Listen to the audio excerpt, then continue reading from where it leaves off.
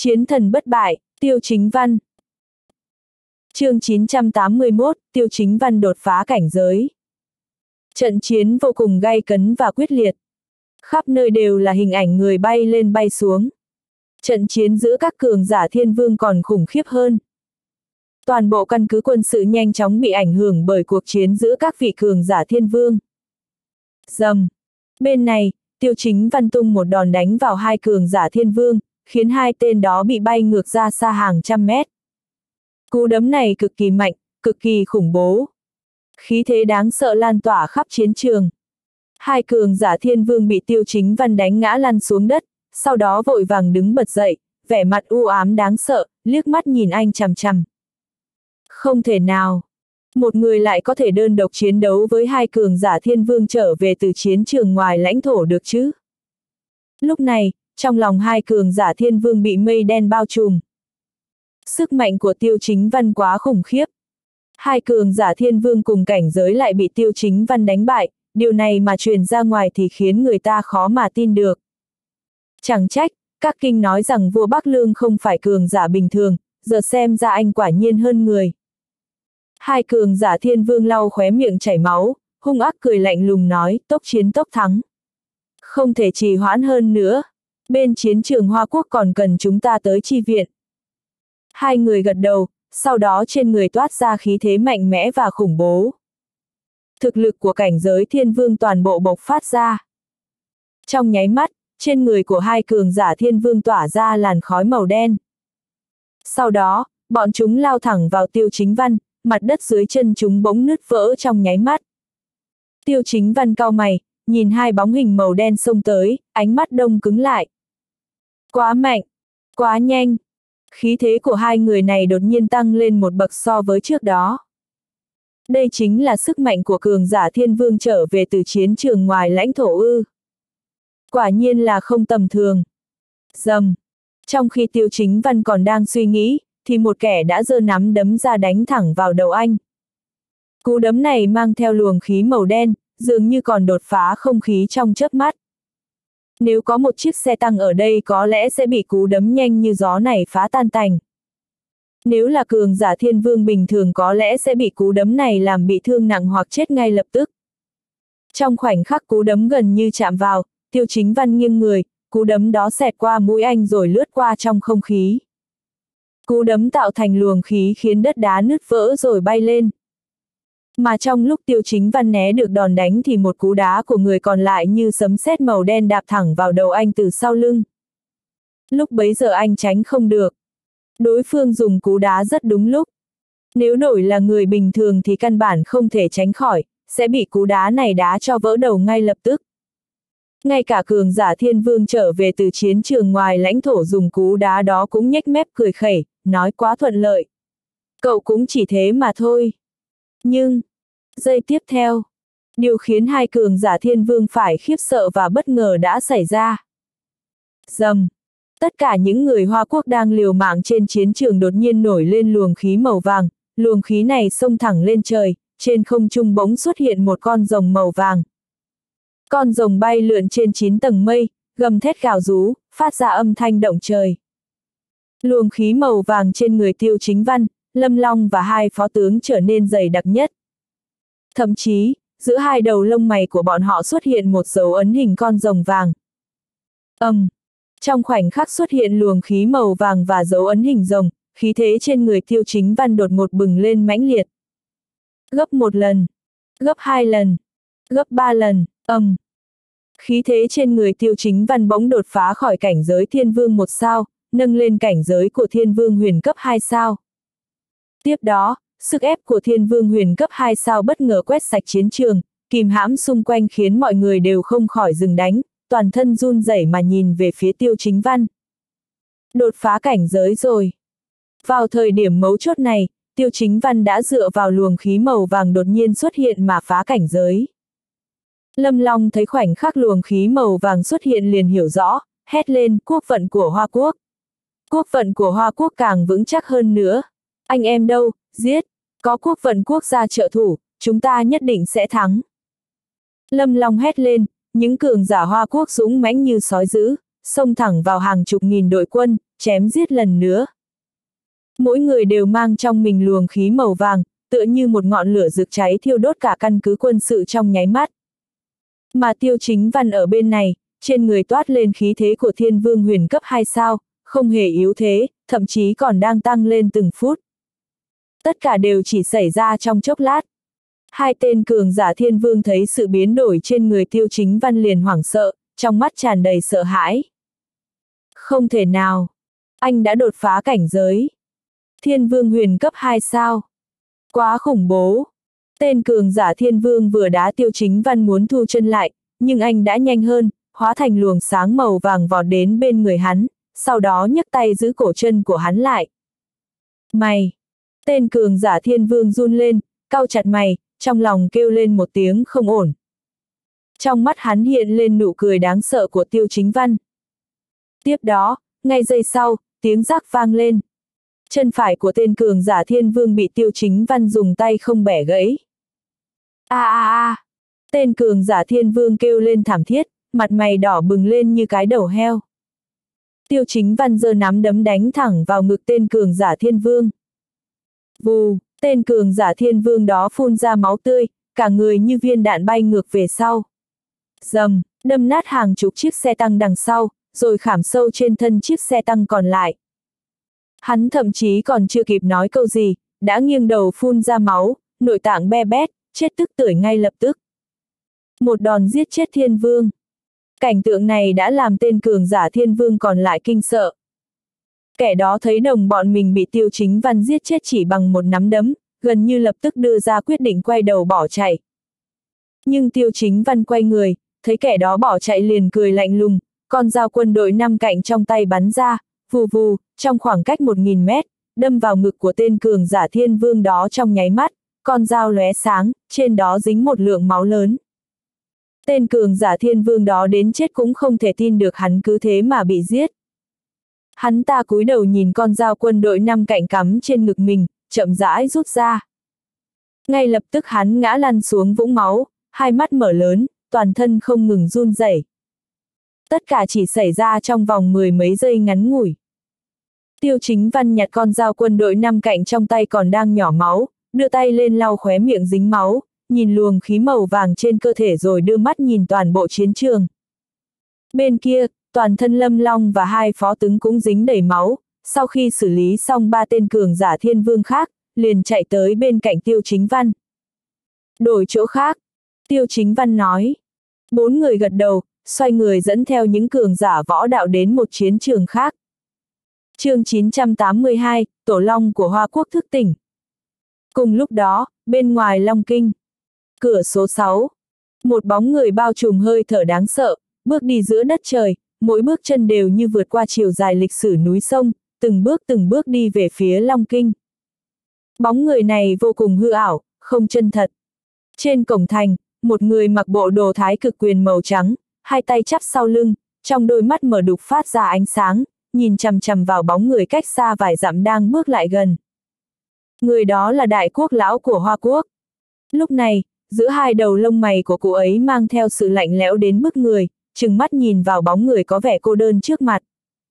Mặc dù cách nhau cả vài km nhưng cũng chỉ trong mấy giây ngắn ngủi, bóng người ấy đã xuất hiện ngay trước cổng thành, đứng bên dưới ngẩng đầu lên nhìn đại quốc lão đang trên cổng thành. Lão già đó mặc một chiếc áo dài màu xanh, phấp phới trong gió, khuôn mặt lạnh lùng. Đại quốc lão đứng trên cổng thành, vẻ mặt trầm ngâm nhìn về phía đối phương. Ngay lúc đó, khí thế trên người lão ta vô cùng kinh khủng, khiến cho đại quốc lão nhíu chặt mày, thậm chí còn không dám nhìn thẳng vào mắt lão ta. Mặc dù đối phương chỉ một thân một mình nhưng ánh mắt giết người ấy lại như ánh mặt trời hừng hực muốn thiêu đốt tất cả. Một cường giả thiên vương địa cấp 3 sao. Trên thế gian này cường giả có thể đạt tới cảnh giới thiên vương địa cấp 3 sao trở lên đều là những quái vật, bọn họ là những kẻ tối thượng sống sót qua những năm tháng chiến tranh. Sự tồn tại của bọn họ mới là quy tắc cơ bản khéo léo duy trì sự cân bằng của thế giới này. Những người như vậy, thường sẽ không dễ ra tay. Lúc này, ánh mắt đại quốc lão nhìn chằm chằm vào lão ta, mở miệng lạnh lùng nói, Dương Trùng Thiên, một trong bốn ma tôn của Điện Ma Vương. Không ngờ lại là ông. Vẻ mặt của đại quốc lão vô cùng u ám, khó coi. Cường giả thiên vương lần này, hầu hết lại đến từ Điện Ma Vương. Điện Ma Vương là một tổ chức vô cùng nguy hiểm và đáng sợ. Bọn chúng có nhiều thành viên và các mối quan hệ sâu rộng ở khắp nơi trên thế giới. Tám quỷ soái và bốn ma tôn của Điện Ma Vương đều là cường giả thiên vương. Mấy chục năm trước, ở thời đại của nhị đại thiên tử, khi nhị đại thiên tử đã giải yếu, Điện Ma Vương đã từng phát động một cuộc tập kích bất ngờ vào Hoa Quốc. Lúc đó, Điện Ma Vương là tổ chức có thực lực và thế lực mạnh nhất trên thế giới. Tám quỷ soái và bốn ma tôn của Điện Ma Vương gần như là cùng nhau đồng loạt hành động. Nhị đại thiên tử đã giả yếu thân mang bệnh nặng, tự mình cầm quân, chỉ huy đại quân Hoa Quốc 600.000 người tiêu diệt 200.000 người của Điện Ma Vương tại biên giới của Hoa Quốc. Cuối cùng đã hợp tác với bốn vị đại tướng của thời điểm đó đánh dẹp tám quỷ soái và bốn ma tôn. Nhị đại thiên tử đã liều mạng tới giọt máu cuối cùng, nhuốm long kiếm bằng máu của thiên tử, đắm mình trong quốc vận của Hoa Quốc, chặt đầu ba ma tôn và sáu quỷ soái, làm một ma tôn bị thương nặng. Kể từ đó, Điện Ma Vương cũng trở nên thấp bé trên toàn thế giới. Cũng chính trận đánh ấy đã làm dạng danh Hoa Quốc. Còn Dương Trùng Thiên đứng trước mặt này chính là vị ma tôn khi ấy bị trọng thương dưới lưỡi kiếm của nhị đại thiên tử nhưng trốn thoát được. Không ngờ đã mấy chục năm, qua thời đại của tam đại thiên tử và tứ đại thiên tử, mà lão già này vẫn còn sống. Lão ta cũng nhướng mày nhìn đại quốc lão trên cổng thành nói, nhóc con, không ngờ nhiều năm như vậy qua đi, cậu đã thăng cấp đến cảnh giới này rồi. Hoa quốc quả nhiên là thần bí khiến người ta khao khát. Đại quốc lão nhíu mày, lạnh lùng hừ một tiếng, dương trùng thiên. Đây là cửa biên giới bên ngoài Long Kinh. Thiên tử không triệu tập, người ngoài không được phép tự ý vượt qua cửa thành nửa bước để vào Long Kinh. Nhanh chóng rời đi, nếu không đừng trách tôi không khách khí với ông. Ha ha ha. Dương Trùng Thiên bật cười, chắp hai tay ra sau, nhìn đại quốc lão đứng trên cổng thành nói, nhóc con, năm đó, lúc ông đây và nhị đại thiên tử của Hoa Quốc đánh nhau, cậu chắc còn đang bú sữa. Vậy mà cũng dám ở đây lớn tiếng ngông cuồng với ông đây sao? Nói xong khí thế đáng sợ của thiên vương địa cấp 3 sao trên người thiên trùng dương bỗng nhiên bộc phát, quét sạch bán kính mấy chục dặm. Uy lực đáng sợ này, đến cả người dân bên trong Long Kinh cũng đều cảm nhận được, tâm trạng vô cùng bất an. Đại quốc lão đứng trên cổng thành, híp mắt lại, nhìn về phía Dương Trùng Thiên, lạnh lùng nói, Dương Trùng Thiên. Tên quái vật này, dám làm sằng làm bậy trong lãnh địa Hoa Quốc. ầm, um, bất ngờ, đại quốc lão ra đòn về phía Dương Trùng Thiên. Lực của chiêu này vô cùng kinh khủng. Lực này, thậm chí còn nóng bỏng thiêu đốt hơn so với mặt trời. Ma tôn Dương Trùng Thiên nhìn thấy đại quốc lão đánh tới, đầu tiên là híp mắt lại rồi sau đó lạnh lùng cười nói, không tồi, không tồi. Lâu rồi chưa động tay động chân, hôm nay ông đây sẽ tiêu diệt luôn quốc lão của Hoa Quốc ngay tại bên ngoài cổng thành Long Kinh. Lấy máu của cậu tế cho ba vị ma tôn và sáu vị quỷ soái bị bỏ mạng năm đó. Âm. Um, vừa dứt lời, ma tôn Dương Trùng Thiên cũng ra một chiêu về phía đại quốc lão. Chiêu thức này mang theo sức mạnh cuồn cuộn đáng sợ. Âm một tiếng. Sức mạnh ngút trời của hai người trong nháy mắt va vào nhau rồi lan tràn ra bốn phía xung quanh. Trong bán kính 10 km, uy lực tạo ra một làn sóng mang sức mạnh hủy diệt kinh hoàng, tiếng nổ lan ra xung quanh. Cát bụi mờ mịt, cây cối đổ rạp, mặt đất nứt ra. Ngay cả những đám mây trên bầu trời cùng vì chiêu này mà tạo thành một vòng tròn màu xanh, ánh sáng xuyên qua. Tất cả đám mây đều bị ép ra rìa của vòng tròn này. Ánh sáng này bao trùm cả quảng trường tổ chức đại lễ, quấn quanh tất cả tướng sĩ Hoa Quốc.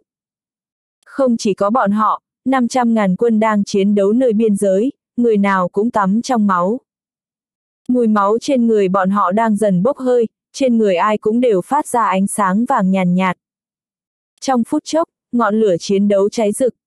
Tất cả tướng sĩ Hoa Quốc, anh dũng đổ máu, hết lớp này đến lớp khác xông lên phía trước. Chấm. Thiên tử, nhìn xuống tướng sĩ rồi ngẩng đầu lên nhìn bầu trời, bỗng kinh ngạc nói quốc vận. Là quốc vận đang dâng lên, tổ long của Hoa Quốc thức tỉnh rồi.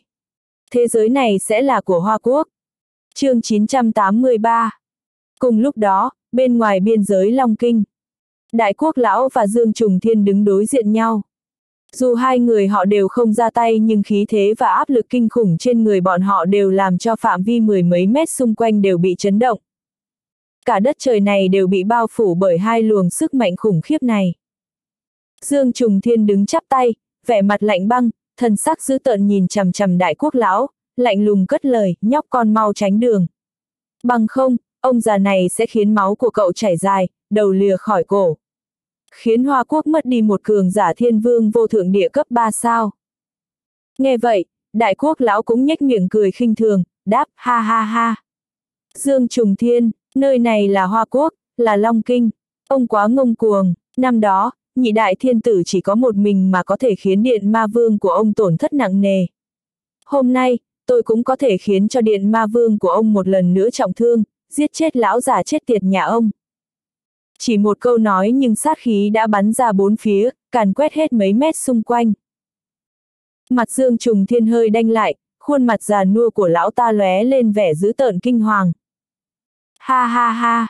Lão ta ngửa mặt lên trời cười to rồi nói, giỏi thay một tên quốc lão Hoa Quốc, còn dám chém ông già này ư. Ông đây đã từng đánh nhau với nhị đại thiên tử của Hoa Quốc. Chỉ với một đứa nhóc như cậu mà cũng có thể chém được tôi sao? Tốt lắm, ngược lại tôi cũng muốn nhìn xem thực lực của quốc lão Hoa Quốc mạnh đến mức nào. Dứt lời. Dương Trùng Thiên bước lên một bước. Một bước này khiến đất rung núi chuyển, bàn chân vừa chạm xuống thì mặt đất đã nứt ra rồi vỡ nát hơn mấy ngàn mét, tạo thành những vết xẻ dày đặc. Thậm chí, đá vụn xung quanh cũng vì một bước này mà vụn vỡ, sau đó lại bị khí thế trên người Dương Trùng Thiên ảnh hưởng, lơ lửng lờ đờ trên mặt đất. Thật đáng sợ. Thực lực thật khủng khiếp. Dùng thực lực của bản thân để gây ảnh hưởng lên quy tắc của vạn sự vạn vật. Ngay sau đó, Dương Trùng Thiên dùng ngón tay thay kiếm, chỉ về phía đại quốc lão, lạnh lùng thốt lên, chết. Giây phút ấy, giữa ngón tay Dương Trùng Thiên toát ra luồng sức mạnh kinh khủng. Một luồng kiếm khí mạnh mẽ từ giữa những ngón tay Dương Trùng Thiên vọt ra, bắn trúng ngực của đại quốc lão. Đại quốc lão thấy vậy thì nhíu nhẹ đôi lông mày, tay giơ lên, giận dữ nói, phá. Luồng khí điên cuồng lao ra từ phía đại quốc lão, phóng thẳng về phía Dương Trùng Thiên. Một tiếng nổ vang lên. Giữa không trung, kiếm khí chỉ tay của Dương Trùng Thiên bị đại quốc lão dùng một trường phá hủy. Tiếp sau đó, sức ép không khí nặng nề từ bốn phía cứ thế mà tuôn ra, tựa như tiếng thét gào của dã thú. Nhưng Dương Trùng Thiên cũng không dừng tay. Lão ta giơ tay lên, liên tục tung ra mấy đợt kiếm khí chém về phía đại quốc lão. Những đợt kiếm khí này vô cùng sắc bén mang theo tiếng ẩm vang xé toạc không gian, hóa thành đầu lâu màu trắng hết sức ghê tởm, gào thét chém xuống đại quốc lão. Đại quốc lão thấy vậy thì lạnh lùng hừ một tiếng, nhấc chân dẫm lên mặt đất, quát lên, đã như thế, hôm nay tôi sẽ thay mặt nhị đại thiên tử chém chết lão yêu quái là ông. Ngay trong lúc nói chuyện thì đại quốc lão đã bay lên trời rồi đáp xuống cổng thành, đồng thời, cụ ấy giơ tay lên, giận dữ quát kiếm. Tới. ầm, um, Một thanh kiếm dài màu trắng trói mắt hóa thành cầu vồng, từ phương xa lao vút tới rồi rơi vào trong tay đại quốc lão. Đồng thời, cụ ấy cũng quét ngang thanh kiếm, chém về phía Dương Trùng Thiên bên kia, giận dữ nói quân tử kiếm rời núi lấp biển. Lão quái vật, chịu chết đi. Dầm. Giây phút đó, một luồng kiếm khí màu trắng khổng lồ xuất hiện giữa đất trời, quét bay mấy đạo kiếm của Dương Trùng Thiên, rồi sau đó mãnh liệt bổ xuống chỗ lão ta. Chân mày Dương Trùng Thiên nhíu lại, sắc mặt vô cùng u ám, vừa kinh ngạc lại vừa nghi ngờ nói quân tử kiếm. Kiếm của nhị đại thiên tử, sao cậu có thể cầm nổi nó? Trừ long kiếm hộ quốc của Hoa Quốc gia thì quân tử kiếm này chính là một trong bảy đại thánh kiếm. Quân tử phải trở che khắp đất trời. Cũng chỉ có tấm lòng quân tử mới có thể cầm nổi thanh quân tử kiếm này. Phàm là có dù chỉ một chút đức hạnh không xứng với danh nghĩa quân tử, nếu cứ gượng ép cầm lấy quân tử kiếm, ắt sẽ bị phản phệ. Mà giờ khắc này, đại quốc lão thuần thục cầm quân tử kiếm chém tới, kiếm khí đầy trời kia khiến Dương Trùng Thiên nhất thời như gặp kẻ địch mạnh. Năm đó, chính thanh quân tử kiếm này từng phối hợp với long kiếm khiến cho điện ma vương tổn thất nặng nề. Thậm chí, Dương Trùng Thiên cũng từng bị quân tử kiếm đánh trọng thương. Bây giờ, ngay giây phút nhìn thấy quân tử kiếm, nội tâm Dương Trùng Thiên hơi sao động, nhớ lại trận chiến thảm thiết và kinh khủng đã từng xảy ra. Mà ngay trước mắt lão ta lúc này, đại quốc lão như biến thành một người khác, hóa thành bóng người cao lớn khiến cho lão ta và cả điện ma vương vĩnh viễn không tài nào quên nổi. Là bóng người một tay cầm quân tử kiếm, tay kia cầm long kiếm, chỉ một người mà đối mặt với 200.000 người của điện ma vương, tám quỷ soái và bốn ma tôn. Nhị đại thiên tử. Trong giây phút Dương Trùng Thiên hoảng hốt, một nhát kiếm của đại quốc lão đã chém xuống người Dương Trùng Thiên. Trong nháy mắt lão ta không kịp phản ứng, vẻ hoảng sợ trên mặt hóa thành sự tức giận uy nghiêm, giận dữ hét lên, không. Cậu không phải người đó. Cậu vĩnh viễn không thể là người đó. Ông đây muốn giết cậu. Giết sạch Long Kinh. Ngay sau đó, Dương Trùng Thiên giơ tay lên, luồng sức mạnh khủng khiếp của thiên vương địa cấp 3 sao ồ ạt bộc phát, hơn nữa còn đạt đến cấp cao nhất. Một tiếng nổ vang lên. Lão ta dùng một trường đánh tan kiếm khí màu trắng đang chém tới. Đại quốc lão bị đẩy lùi mấy bước, hai mắt tập trung nhìn chằm chằm Dương Trùng Thiên đang rơi vào trạng thái điên loạn. Sát khí vô cùng nồng nặc trên người lão ta, giống hệt như ma vương. Hừ. Đại quốc lão lạnh lùng hừ một tiếng, quát lên, còn muốn giết sạch Long Kinh ư. Hôm nay, tôi sẽ giết ông trước. Dứt lời, đại quốc lão lại giơ quân tử kiếm lên, xông thẳng về phía Dương Trùng Thiên. Một giây đó, giữa trời đất này, gió mây biến đổi. Phạm vi mấy chục mét xung quanh đều tràn ngập luồng sức mạnh thiên vương địa cấp 3 sao của hai người. Luồng sức mạnh này ảnh hưởng đến toàn bộ Long Kinh. Qua mấy lần, khóe miệng đại quốc lão đã tràn ra máu tươi. Cụ ấy lạnh lùng nhìn chằm chằm ma khí kinh khủng tản ra từ người Dương Trùng Thiên, nói, không hổ là ma tôn của Điện Ma Vương. Trải qua đại chiến lần đó, thực lực quả nhiên khủng khiếp. Đáng tiếc, bên trong cơ thể ông có vết thương cũ do nhị đại thiên tử để lại, nếu không cũng sẽ không đánh nhau với tôi lâu như vậy. Dứt lời, đại quốc lão xoay chuyển quân tử kiếm rồi sau đó dùng tốc độ xoay cực nhanh bay vào giữa không trung. Đại quốc lão đứng dưới quân tử kiếm, ngón trỏ cứ bấm các đốt tay một cách kỳ quái, rồi gầm lên, vạn vật trong thiên hạ, theo lời vua lập thành luật pháp. Một kiếm này, có thể san bằng núi sông, cũng một kiếm này, có thể trừ sạch những chuyện bất công trong thiên hạ. ầm, um, theo tiếng giống giận của đại quốc lão, quân tử kiếm đang xoay tròn lơ lửng giữa không trung bỗng chốc biến hóa thành tám thanh kiếm. Lấy quân tử kiếm làm trung tâm, tám thanh kiếm khác trôi lơ lửng xung quanh kiếm khí vô song của quân tử kiếm. Sau đó, đại quốc lão giơ tay lên, hai tay hợp lại, cánh tay như kiếm, chém về phía dương trùng thiên bên kia, giữ tợn hét lên tám kiếm chém trời. Trong phút chốc, tám luồng kiếm khí kinh khủng hóa thành sao rơi, xuyên qua đất trời, phá vỡ năm dài tháng rộng, chém về phía Dương Trùng Thiên. Dương Trùng Thiên thấy vậy thì khịt mũi, giận dữ hét tám kiếm ư. Phá! Sau đó, lão ta giơ tay lên, dùng tay vẽ một vòng tròn tạo thành một tấm bình phong che chắn trước người, chống cự lại tám luồng kiếm khí. Keng keng keng! Mỗi một luồng kiếm khí đều tản ra sát khí kinh hoàng, đâm mạnh vào tấm bình phong rồi vỡ nát thành từng mảnh vụn. Nhưng đến luồng kiếm khí thứ tư thì trên tấm bình phong che chắn cũng xuất hiện một vết nứt vỡ. Sau đó, mỗi một luồng kiếm khí đập vào khiến vết nứt ấy càng lan rộng hơn. Vẻ nghiêm trọng tràn đầy trong mắt Dương Trùng Thiên, đầu tóc bạc trắng cuồng loạn bay ngược chiều gió, chống cự lại lực đánh vào của những luồng kiếm khí này. Cho đến khi luồng kiếm khí thứ 8 đã vỡ tan thì tấm bình phong che chắn kia vẫn chưa nứt vỡ. Dù đang cận kề bên bờ tan nát nhưng vẫn chưa nứt vỡ. Dương Trùng Thiên cười lớn, rồi hét lên, cậu thua rồi. Cậu thua rồi. Nhưng ngay giây kế tiếp, đại quốc lão gầm lên giận dữ, ngay sau tám luồng kiếm khí kia là luồng kiếm khí thứ 9 ập tới, bản thân quân tử kiếm mang theo kiếm khí ngập trời bỗng nhiên đâm thẳng về phía Dương Trùng Thiên. Choang! Tấm bình phong che chắn trước người Dương Trùng Thiên vỡ nát.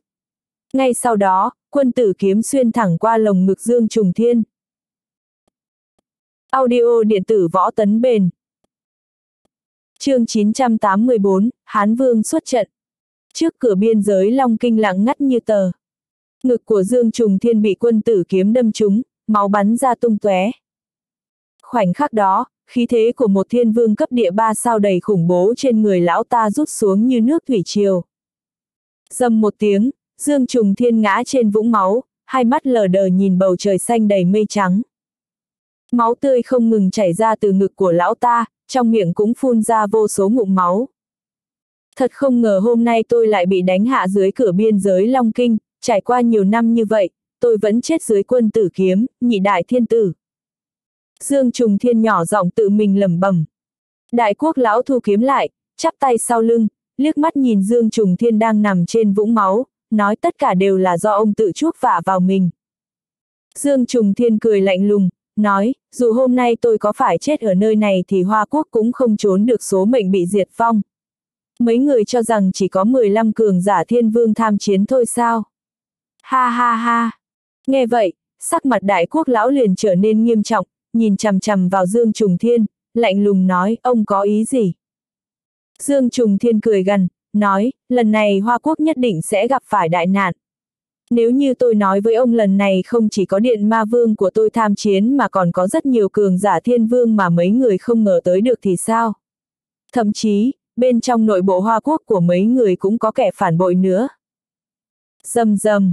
Nghe thấy lời này, sắc mặt của đại quốc lão tối sầm lại. Bên trong Hoa Quốc có kẻ phản bội. Chuyện này không phải là điềm lành. Thế nhưng, đại quốc lão lại lạnh lùng lên tiếng, nói, hừ, nhiều cường giả thiên vương tới hơn nữa thì có làm sao? Hoa quốc vĩnh viễn không phải là nơi mà đám hèn mọn mấy người có thể nhòm ngó tới. Quốc phận Hoa quốc đã mở, trận chiến này, Hoa quốc nhất định sẽ chiến thắng. Quốc phận. Dương Trùng Thiên nhíu mày, lúc này nhìn về phía đại quốc lão, đột nhiên nhìn thấy long khí ngất trời trên người cụ ấy. Sau lưng cụ ấy có một con rồng cực lớn màu vàng nhạt, lúc này đang bay lượn vòng quanh chín tầng mây, phát ra tiếng gầm ghê rợn. Tổ Long Hoa Quốc, Quốc vận Long Mạch. Khoảnh khắc đó, Dương Trùng Thiên sững sờ, vẻ mặt vô cùng kinh ngạc, nói, sao có thể, quốc vận của Hoa Quốc sao lại được mở trước chứ? Chuyện này không thể nào. Đại quốc lão hừ một tiếng, nói quốc vận khai mở báo hiệu cho việc đây là một thời đại đỉnh cao. Báo hiệu cho việc Hoa Quốc của tôi sẽ đứng trên đỉnh của thế giới, trở thành người lãnh đạo toàn thiên hạ. Tất cả âm mưu toàn tính của những kẻ hèn yếu như mấy người nhất định sẽ bị quốc vận của Hoa Quốc đập tan. Trong phút chốc, Dương Trùng Thiên nhìn bầu trời, cười lớn vài tiếng, nói, hóa ra là như vậy, hóa ra là như vậy, Hoa Quốc, quả nhiên thâm sâu khó lường. Sau đó, Dương Trùng Thiên ngừng cười, biểu cảm trên gương mặt dần trở nên cứng đờ, trở thành một cái xác lạnh băng. Ma tôn Dương Trùng Thiên của Điện Ma Vương chết dưới cửa biên giới Long Kinh. Đại quốc lão thở dài, đưa mắt nhìn ra xa, nơi đó vẫn có vài luồng hơi thở thiên vương đang ẩn nấp mãi vẫn chưa ra tay. Xem ra mấy người này chính là đám cường giả thiên vương mà Dương Trùng Thiên nhắc tới. Bọn chúng dường như vẫn luôn quan sát chiến cục. Nếu đã như vậy thì tôi đành đích thân đi giết mấy người vậy. Đại quốc lão lạnh lùng hừ một tiếng, giơ tay lên, cầm theo quân tử kiếm, xông thẳng ra phía trước, đồng thời để lại một câu, 10.000 cấm vệ quân cố thủ cửa biên giới. ầm ầm ầm. Một giây sau, 10.000 cấm vệ quân mặc áo giáp sắt, tất cả đều được trang bị vũ trang, tay mang súng thép nhanh chóng xếp hàng dưới cửa biên giới ngoại thành này để phòng thủ. Cùng lúc này, năm cửa biên giới còn lại ở ngoại thành Long Kinh cũng xuất hiện 10.000 cấm vệ quân, tất cả đều mang theo súng đạn để cố thủ. Đại lễ Hoa Quốc đã sắp sửa kết thúc. Thiên tử đứng trên đàn tế đỉnh Cửu Châu, lại ba vái với trời đất, sau đó giơ cánh tay lên, siết thành nắm đấm, cao giọng hô lên tất cả tướng sĩ nghe lệnh. Siết quân thù, bảo vệ cửa biên giới. Toàn quân xuất phát. Quân đội Hoa Quốc oai phong. Chiến, chiến, chiến. 40.000 đại quân được trang bị vũ trang đầy đủ cùng ngửa cổ gầm lên. Trên người bọn họ lóe lên ánh hào quang màu vàng nhạt, đắm mình trong quốc vận của Hoa Quốc, đồng loạt bước lên chiến xa, máy bay vận tải quân dụng hoặc tập kích cả trăm giảm tiến đến các chiến trường.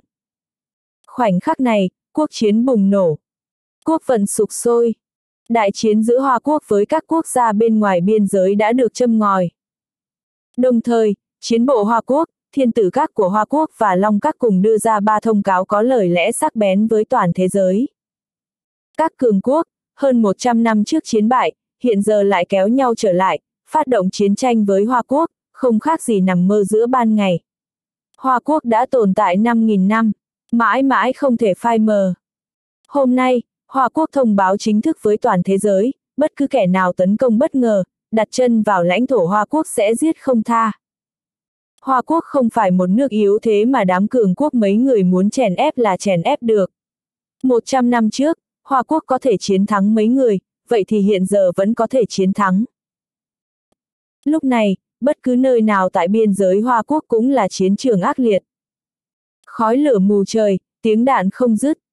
Đi đến đâu cũng là những tướng sĩ nguyện hy sinh vì đất nước. Đi đến đâu cũng là nhà cửa nát tan.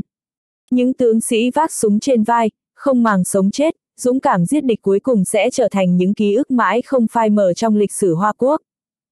Bọn họ hy sinh vì đất nước, hy sinh vì nhân dân. Bọn họ là những tượng đài bất hủ. Mà cùng lúc này, trên chiến trường biên giới, mấy người tiêu chính văn, lâm long, hắc long cũng đang dũng cảm giết địch. Cục diện trận đấu vô cùng ác liệt.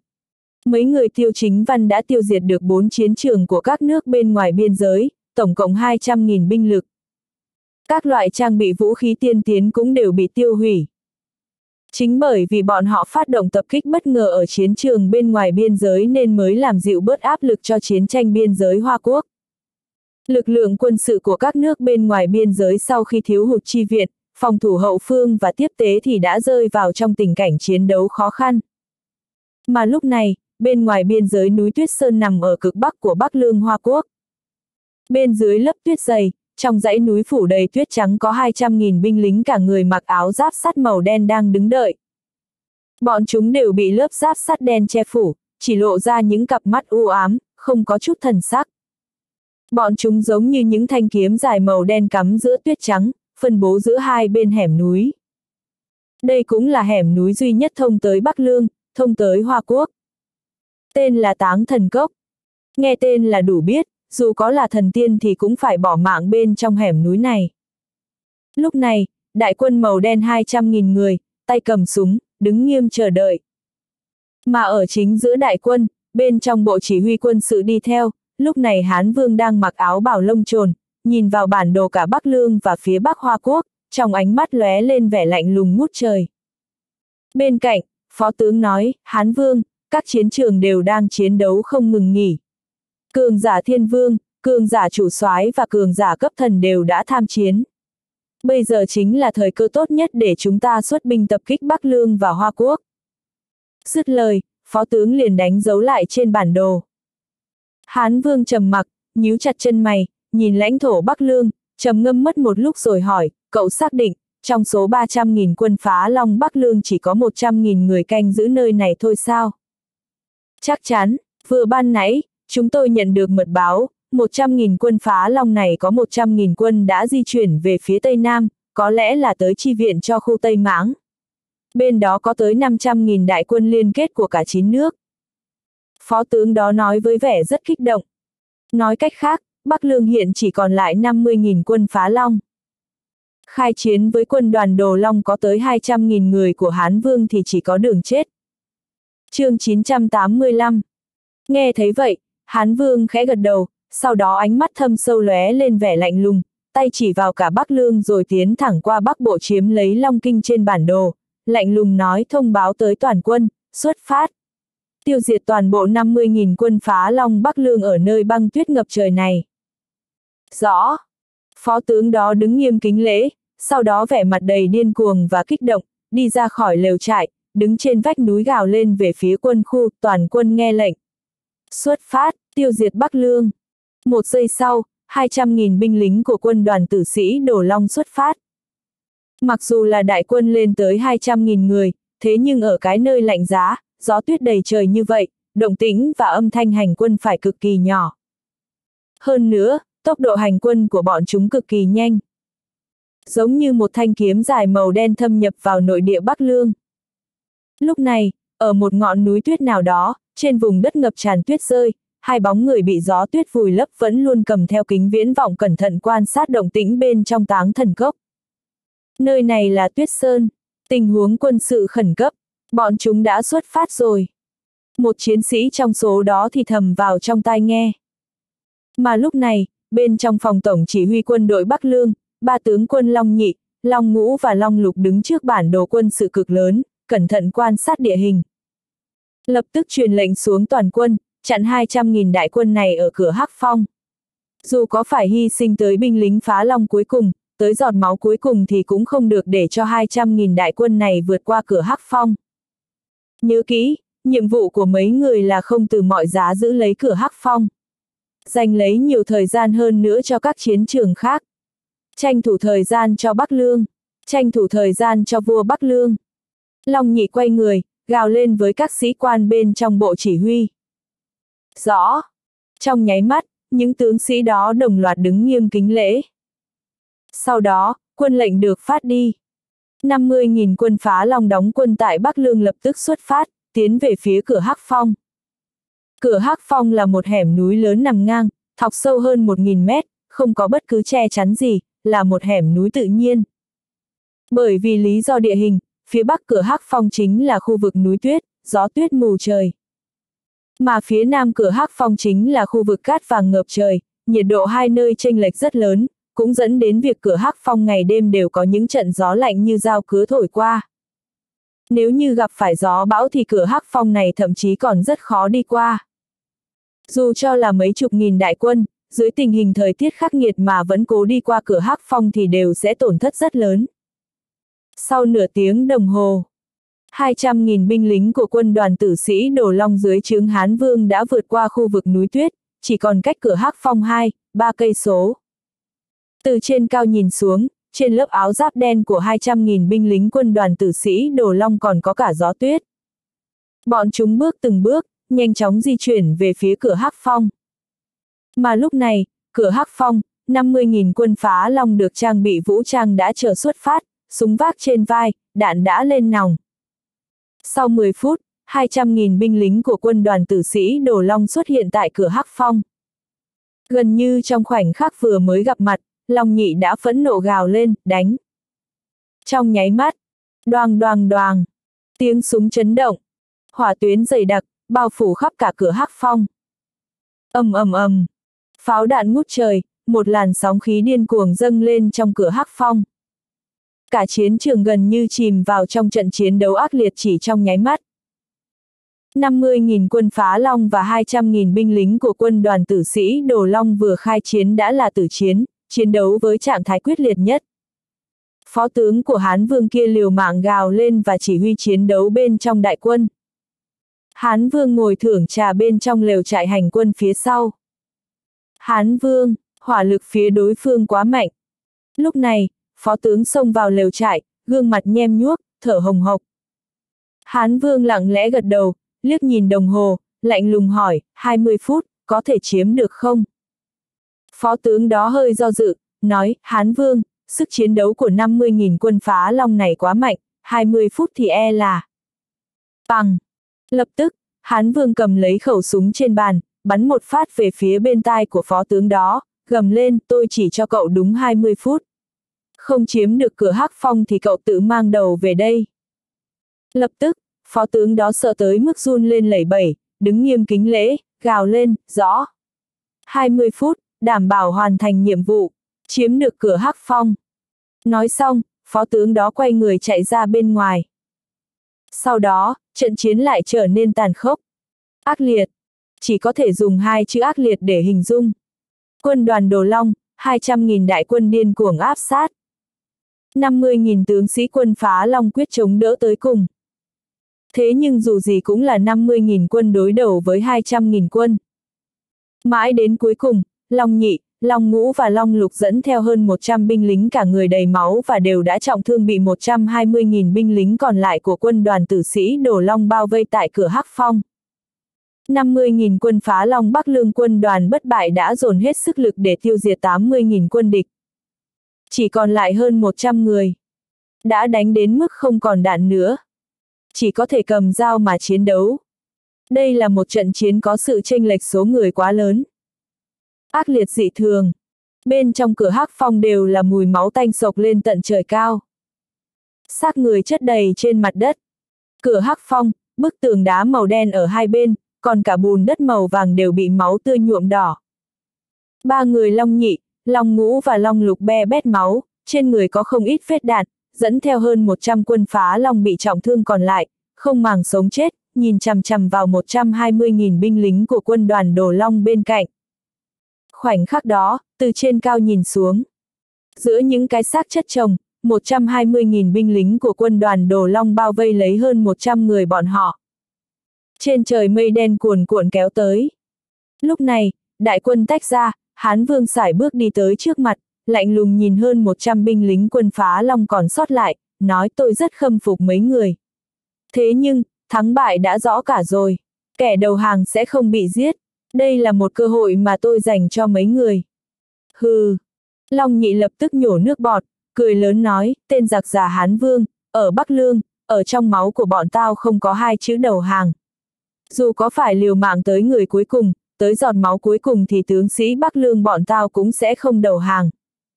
Nghe vậy, Hán Vương nhướng mày, nói, giết hết đi. Nói xong, cụ ta quay người rời đi.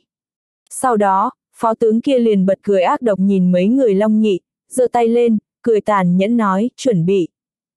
Chỉ cần hắn ra lệnh nổ súng, mấy người long nhị sẽ bị giết chết ngay tại chỗ. Dù cho mấy người long nhị là cường giả ở cảnh giới chiến thần thì lúc này bọn họ cũng đã cạn kiệt sức lực. Dù gì, bên trong quân đoàn đồ long cũng có 8 cường giả ở cảnh giới chiến thần. Bóp cò.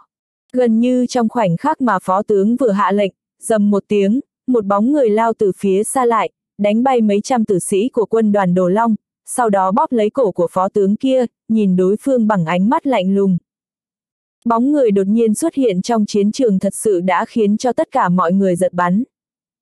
Người đó đột nhiên xông ra từ trong đám người, hơn nữa còn nhanh như cắt túm lấy cổ của phó tướng kia, nhấc bổng hắn ta lên từ trên mặt đấy. Phó tướng liều mạng vùng vẫy, sắc mặt kinh hoàng nhìn người đàn ông cả người đang toát lên sát khí khủng khiếp trước mặt, hỏi mày, mày là ai? Bóng người đó lạnh lùng nói, tao là thuộc hạ của vua Bắc Lương, Liễu Thanh chương 986, có chết cũng phải bảo vệ được Bắc Lương. Vừa dứt lời, sát khí trên người Liễu Thanh đã lập tức bùng nổ. Phó tướng đó lạnh lùng nói, mày, mày buông tao ra. Tao là phó tướng của quân đoàn Đồ Long. Sau lưng tao là đại quân 120.000 người đấy. Ồ, vậy sao? Liễu Thanh bật cười lạnh lùng, đưa mắt nhìn đám binh lính của quân đoàn Đồ Long đang cầm súng chĩa về phía mình. Sau đó, rắc một tiếng, Liễu Thanh thẳng tay bẻ gãy cổ của phó tướng đó. Bẻ gãy cổ của phó tướng ngay trước mặt đại quân 120.000 người. Vèo vèo. Không gian lặng ngắt. Một luồng sát khí rợn ngập đột nhiên lan ra khắp không gian. Khí thế của chủ soái sáu sao bao phủ khắp cả cửa hắc phong chỉ trong nháy mắt. Đại quân 120.000 người kia lúc này đều nơm nớp lo sợ, cầm như hến, căn bản không dám cử động. Liễu Thanh quăng cái xác đang trợn trừng hai mắt, mũi miệng đầy máu của phó tướng đó xuống đất. Không gian lặng thinh. Đám tử sĩ của quân đoàn Đồ Long đều nuốt nước bọt ừng ực, không dám nhìn thẳng vào Liễu Thanh sát khí ngất trời trước mắt. Quá đáng sợ. Người đàn ông này giống như bá chủ của địa ngục, khiến cho bọn chúng cảm thấy run sợ. Liễu Thanh chắp tay sau lưng, cả người ngập tràn sát khí khủng bố. Anh ta nhìn mấy người long nhị lúc này đã hoàn toàn mệt như, nhíu mày nói, sao rồi, có thể chống đỡ được không? Mấy người long nhị lau máu tươi trên khóe miệng, ánh mắt lóe lên tia sáng, nói, đương nhiên. Không một binh lính Bắc Lương nào lại ngã xuống dễ dàng như thế. Trong nháy mắt, hơn 100 binh lính phá long Bắc Lương giống như được tăng lực, nhiệt huyết trên người sục sôi, ý chí chiến đấu cao vời vợi. Liễu Thanh gật đầu, mặc dù mới chỉ là lần đầu gặp mặt binh lính Bắc Lương, thế nhưng anh ta đã bị nhiệt huyết và dũng khí không màng sống chết trên người bọn họ cảm hóa. Đây chính là Bắc Lương sao? Chẳng trách có thể trở thành sư đoàn bất bại của cực Bắc Hoa Quốc, là trụ cột trong việc bảo vệ quốc gia. Những binh lính như vậy, cho dù toàn bộ đều chiến đấu tới chết thì cũng sẽ không dễ dàng chịu nhận thất bại. Liễu Thanh gật đầu, sau đó xoay người, ánh mắt nhìn chằm chằm vào đám tử sĩ của quân đoàn Đồ Long đang vây kín xung quanh, trầm giọng nói theo sát tôi, cùng giết chết chúng. Được. Cả đám người cùng gật đầu, phẫn nộ hô lên một tiếng. Nếu như chỉ có một mình Liễu Thanh, đại quân 120.000 người này căn bản không thể ngăn chặn anh ta. Thế nhưng sau lưng vẫn còn hơn 100 binh lính phá long Bắc Lương đang bị trọng thương, anh ta buộc phải đưa bọn họ ra khỏi nơi này. Dẫn được người nào hay người đó. Giết! Trong nháy mắt, Liễu Thanh lao vụt ra, cơ thể giống như một viên đạn cỡ lớn truy giết mấy nghìn tử sĩ của quân đoàn Đồ Long trước mặt. Mà tất cả những chuyện này chỉ xảy ra trong nháy mắt. Đây chính là chiến lực của một chủ soái sáu sao. Ngay lập tức đã tạo được một lỗ hổng. Giết! Mấy người Long Nhị cũng gầm lên, xông lên đánh giết theo Liễu Thanh. Trận chiến này vô cùng ác liệt. Dù cho Liễu Thanh có thực lực của chủ soái 6 sao, thế nhưng đối diện với đại quân 120.000 người của quân đoàn Đồ Long, thêm cả hơn 100 binh lính Bắc Lương đang bị trọng thương phía sau, anh ta cũng phải giật gấu bá vai, chật vật chống đỡ. Có điều, anh ta càng đánh càng anh dũng. Lúc này, Hán Vương đứng trên vách núi phía xa, năm đại chiến tướng bên cạnh chăm chú quan sát tình hình chiến đấu tại cửa Hắc Phong. Hán Vương lạnh lùng nói, hai người các cậu đi xử lý hắn. Tuyệt đối không được để cho bọn chúng thoát ra ngoài. Ngoài ra, 100.000 binh lính của quân đoàn Đồ Long lập tức tiến đánh vào chiến bộ Bắc Lương. Rõ, thưa Hán Vương. Hai chiến tướng kia cung kính đáp lời, sau đó nhìn về phía trận chiến nơi cửa Hắc Phong, nhún người nhảy xuống, hóa thành hai bóng đen lao tới đánh giết. Liễu Thanh đang chiến đấu với mấy nghìn binh lính, đột nhiên anh ta cau mày, cảm nhận được hai luồng sát khí vô cùng sắc bén đang lao tới từ phía xa. Sau đó, rầm rầm hai tiếng, hai bóng người đó sẽ tan đại quân rồi xông tới, một đấm một đá, hung hãn đánh về phía Liễu Thanh. Với cú đấm và đá này, nếu đổi lại là cường giả chủ soái thông thường thì chắc chắn đã bỏ mạng. Liễu Thanh nhíu mày, tung một cú đấm ra, đồng thời cũng giơ chân đá về phía trước.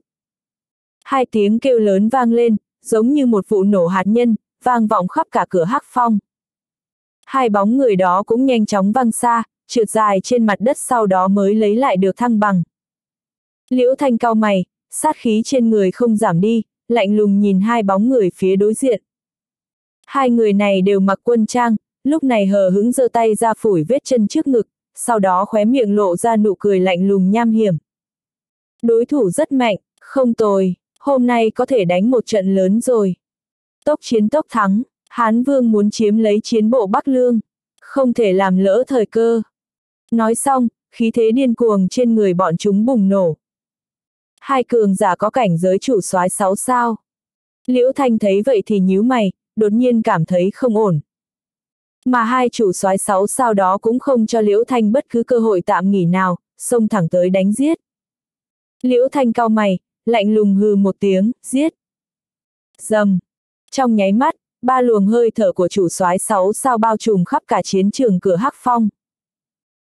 Hán Vương đã điều toàn bộ 100.000 tử sĩ xung quanh của quân đoàn Đồ Long tới thẳng tổng bộ chiến khu Bắc Lương. Lúc này, chiến bộ Bắc Lương chỉ còn lại hơn 1.000 binh lính canh gác. Có thể nói rằng chính là một bộ chỉ huy chống không. Bên trong chiến bộ, sau khi mất liên lạc với 50.000 quân phá long thì những tướng lĩnh và binh lính canh gác đã có dự định xấu nhất. Tất cả mọi người, cầm lấy vũ khí, có chết cũng phải giữ lấy chiến bộ Bắc Lương. Khoảnh khắc đó, hơn 1.000 binh lính canh gác đều đã sẵn sàng, dù là tướng lĩnh hay là dân sự thì cũng đều vác súng trên vai, chuẩn bị tốt để đón địch bên trong chiến bộ. Một tiếng đồng hồ trước, ở một chiến trường bên ngoài biên giới. Cả người tiêu chính văn be bét máu, con dao quân đội năm cạnh trên tay cũng đang nhỏ máu. Dưới chân là xác của ba cường giả thiên vương. Xung quanh là hàng nghìn xác chết của binh lính các nước thù địch. Lúc này, hai mắt anh đanh lại, giống như lưỡi kiếm sắc bén xé tan bầu trời, nhìn về phía Hoa Quốc. Ngay sau đó, mấy người lâm long, hắc long cũng nhanh chóng đi tới bên cạnh tiêu chính văn từ các chiến trường khác. Mấy người đưa mắt nhìn nhau, gật đầu, nói, phải trở về rồi.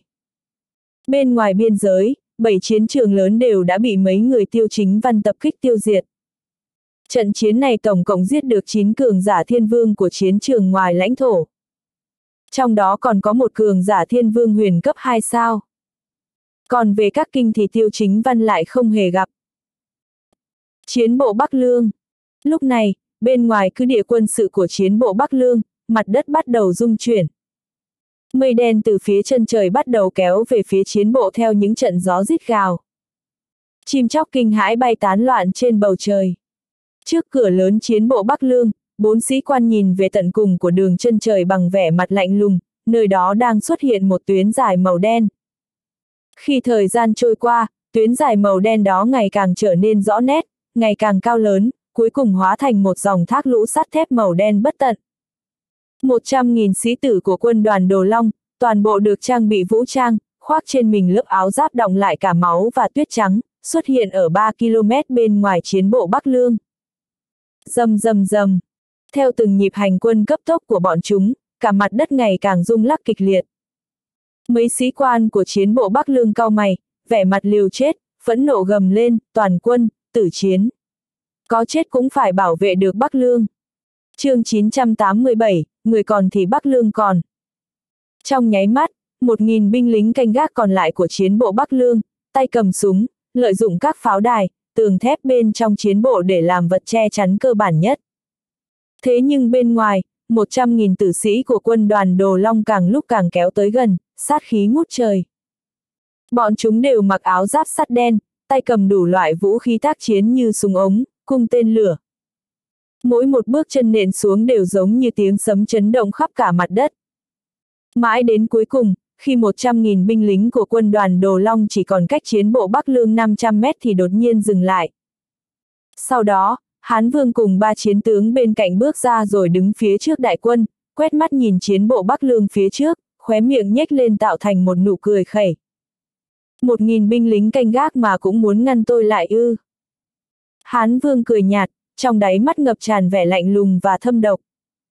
Trong mắt cụ ta, một nghìn binh lính canh gác bên trong chiến bộ Bắc Lương kia hoàn toàn chỉ là đống bùn cát trên đường một trăm nghìn đại quân đổ long tiến công vào Bắc Lương. nhấc tay lên là có thể tiêu diệt được hết.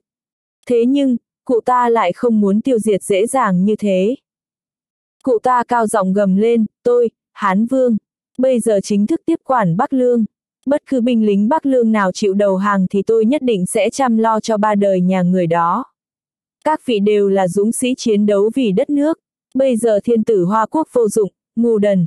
Đây chính là thời cơ tốt nhất tôi chờ đợi để các nghĩa sĩ khởi binh đổi chủ, xây dựng lại thanh danh cho Hoa Quốc. Các vị dũng sĩ, còn trần trừ gì mà không gia nhập về dưới trướng của tôi, làm việc thay cho tôi. Sau khi chiến thắng, các dũng sĩ đều sẽ được phong quan tiến chức.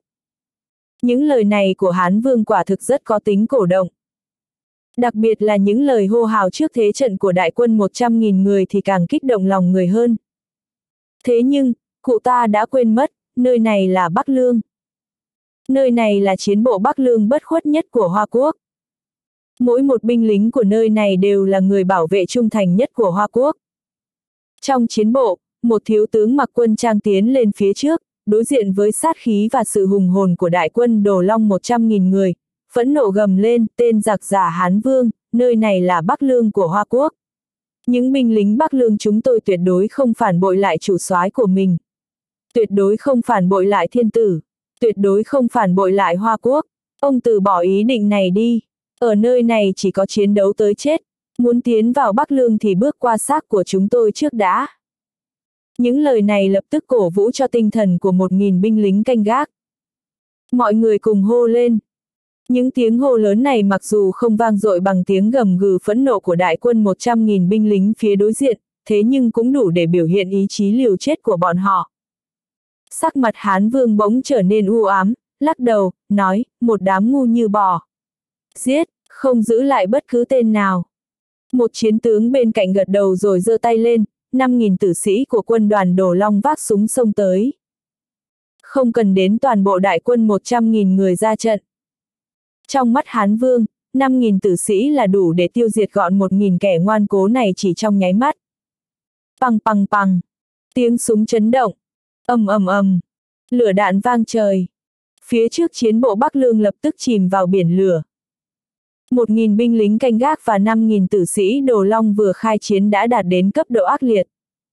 Khiến cho mấy người Hán Vương vô cùng bất ngờ chính là sức mạnh chiến đấu của 1.000 binh lính canh gác này cao lạ thường. Bọn họ lợi dụng tường thép phòng hộ của chiến bộ, còn cả vũ khí tác chiến như xe tăng và pháo đài bên trong để ngăn chặn bước tiến công của 5.000 binh lính quân đoàn Đồ Long. Chỉ trong thoáng chốc, 5.000 binh lính tiên phong của quân đoàn Đồ Long đã thương vong mất một nửa. Mà 1.000 binh lính canh gác của chiến bộ Bắc Lương thì chỉ chết mất hơn 100. Hán Vương nhìn thấy cảnh tượng này, sắc mặt lập tức trầm xuống, bàn tay giơ lên, phẫn nộ nói, thêm 5.000 quân nữa. Giết sạch bọn chúng cho tôi. Dầm dầm dầm. 5.000 binh lính của quân đoàn Đồ Long lại xông lên thêm lần nữa. Chiến trường lại chìm trong trạng thái kịch liệt. Toàn bộ 10.000 tử sĩ của quân đoàn Đồ Long đều điên cuồng đánh vào chiến bộ Bắc Lương. 1.000 binh lính canh gác đang dồn lực để đối kháng với số quân địch gấp hơn 10 lần bọn họ. Mà cùng với sự ác liệt của trận chiến, 10.000 tử sĩ tiên phong của quân đoàn Đồ Long cũng nhanh chóng ép sát chiến bộ Bắc Lương. Xông lên, giết hết, có chết cũng phải giữ lấy Bắc Lương. Chiến đấu tới giọt máu cuối cùng. Người còn thì Bắc Lương còn, người chết thì tinh thần Bắc Lương vẫn sẽ mãi còn đó. Cuối cùng, kèn lệnh sung phong vang lên.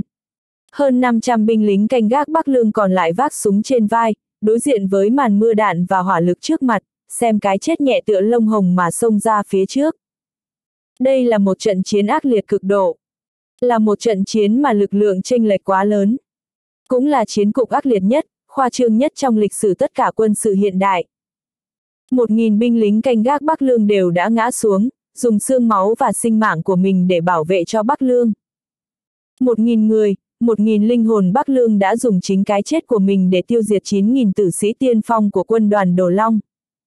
Lúc này, bên ngoài chiến trường, Hán Vương và 110.000 binh lính của quân đoàn Đồ Long sau lưng, nhìn những cái xác nằm chất chồng trên mặt đất và cả chiến bộ Bắc Lương đang chìm trong biển lửa với vẻ mặt lạnh tanh. Phải có tinh thần coi thường cái chết mạnh mẽ như thế nào mới có thể đạt được kết quả chiến đấu giống như vậy. Phải là đội ngũ như thế nào mới có thể chiến đấu tới mảnh giáp cuối cùng, tới giọt máu cuối cùng cơ chứ. Hán Vương trầm mặc, nhíu chặt mày. Cụ ta kính phục đoàn binh lính canh gác này, cũng kính phục Bắc Lương. Thế nhưng, bất cứ kẻ nào ngáng đường cụ ta thì đều phải chết. Thứ cụ ta muốn là Hoa Quốc, là địa vị bá chủ toàn thiên hạ.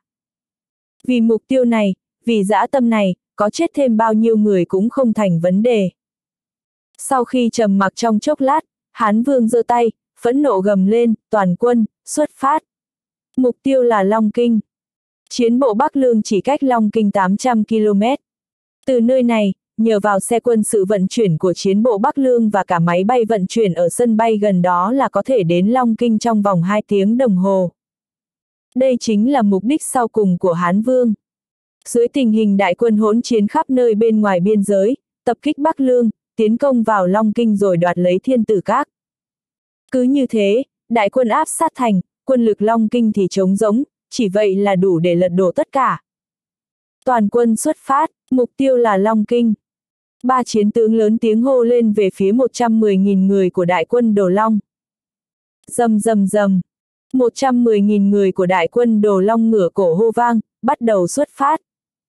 Thế nhưng, lúc này, phía trước trận địa của đại quân 110.000 người, trong ánh mắt kinh ngạc của tất cả mọi người, nơi cuối con đường phía đối diện chiến bộ Bắc Lương có ba bóng người đột nhiên xuất hiện cùng với ánh tà dương.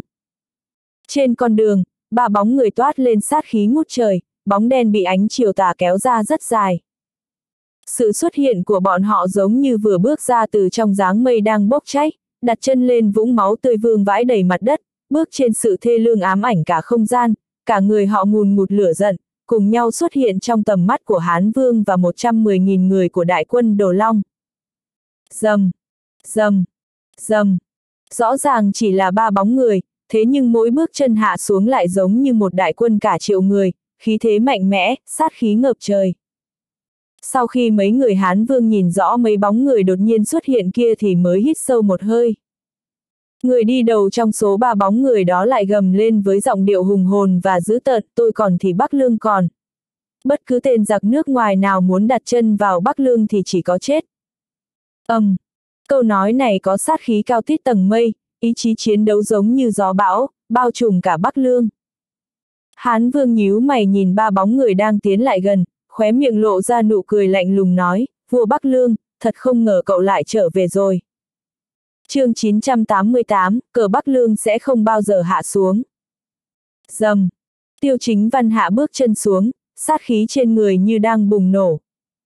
Đôi mắt anh giống như lưỡi kiếm sắc bén quét qua xung quanh, ánh mắt dừng lại nơi những xác người đang nằm la liệt trên mặt đất và chiến bộ Bắc Lương đã bị phá hủy thầm tệ. Mỗi một phần thi thể của chiến sĩ Bắc Lương đều nói lên rằng vừa rồi nơi này đã xảy ra một trận chiến khốc liệt. Chủ, chủ soái, anh đã trở về rồi sao? Thật, thật là tốt quá rồi, Bắc Lương được cứu rồi. Lúc này, một binh lính Bắc Lương cả người toàn là máu, hai chân đã bị bom nổ cho đứt lìa run rẩy và khó khăn nhìn về phía tiêu chính văn. Tiêu chính văn phát hiện ra có người may mắn còn sống thì nhanh chóng tiến lại gần, ngồi xổm xuống trước mặt người lính Bắc Lương đó, thế nhưng lại phát hiện ra thương tích trên người anh ta rất nghiêm trọng. Cậu có điều gì muốn nhắn nhủ không? Tiêu chính văn hỏi. Người lính đó nhìn tiêu chính văn, bàn tay phải đầy máu run rẩy dơ lên, nằm trên vũng máu, kính lễ với tiêu chính văn, với lá cờ hắc kim long đang tung bay bên trong chiến bộ Bắc Lương, chủ soái, tôi tên là Vương Lâm, kiếp sau tôi vẫn muốn được làm binh lính của anh. Tôi vẫn muốn bảo vệ cho Bắc Lương, bảo vệ cho lá cờ này, chủ soái, tôi không thể cùng anh tiếp tục chiến đấu, tôi hận bản thân không thể giết chết lũ giặc ngoại xâm. Tiêu chính văn siết chặt lấy bàn tay của người lính đó, hai mắt ửng đỏ, long lanh đầy nước mắt. Mãi đến cuối cùng, anh nhẹ nhàng vuốt cho hai mắt của người lính đó khép lại, nói, Vương Lâm, Bắc Lương sẽ không quên cậu, Hoa Quốc sẽ không quên cậu. Tiếp đó, tiêu chính văn trầm mặc trong chốc lát, chậm rãi đứng lên, đưa mắt nhìn thi thể của chiến sĩ Bắc Lương giải rác khắp bốn phía, hô lên đầy phẫn nộ các vị tướng sĩ. Mặc dù mọi người đã chết, thế nhưng ngọn lửa Bắc Lương sẽ mãi không tắt. Tinh thần Bắc Lương cũng sẽ không tàn lụi. Dứt lời, tiêu chính văn chỉ vào lá cờ hắc kim long đang tung bay phấp phới trong gió, gào lên, lá cờ vua của Bắc Lương sẽ không bao giờ hạ xuống.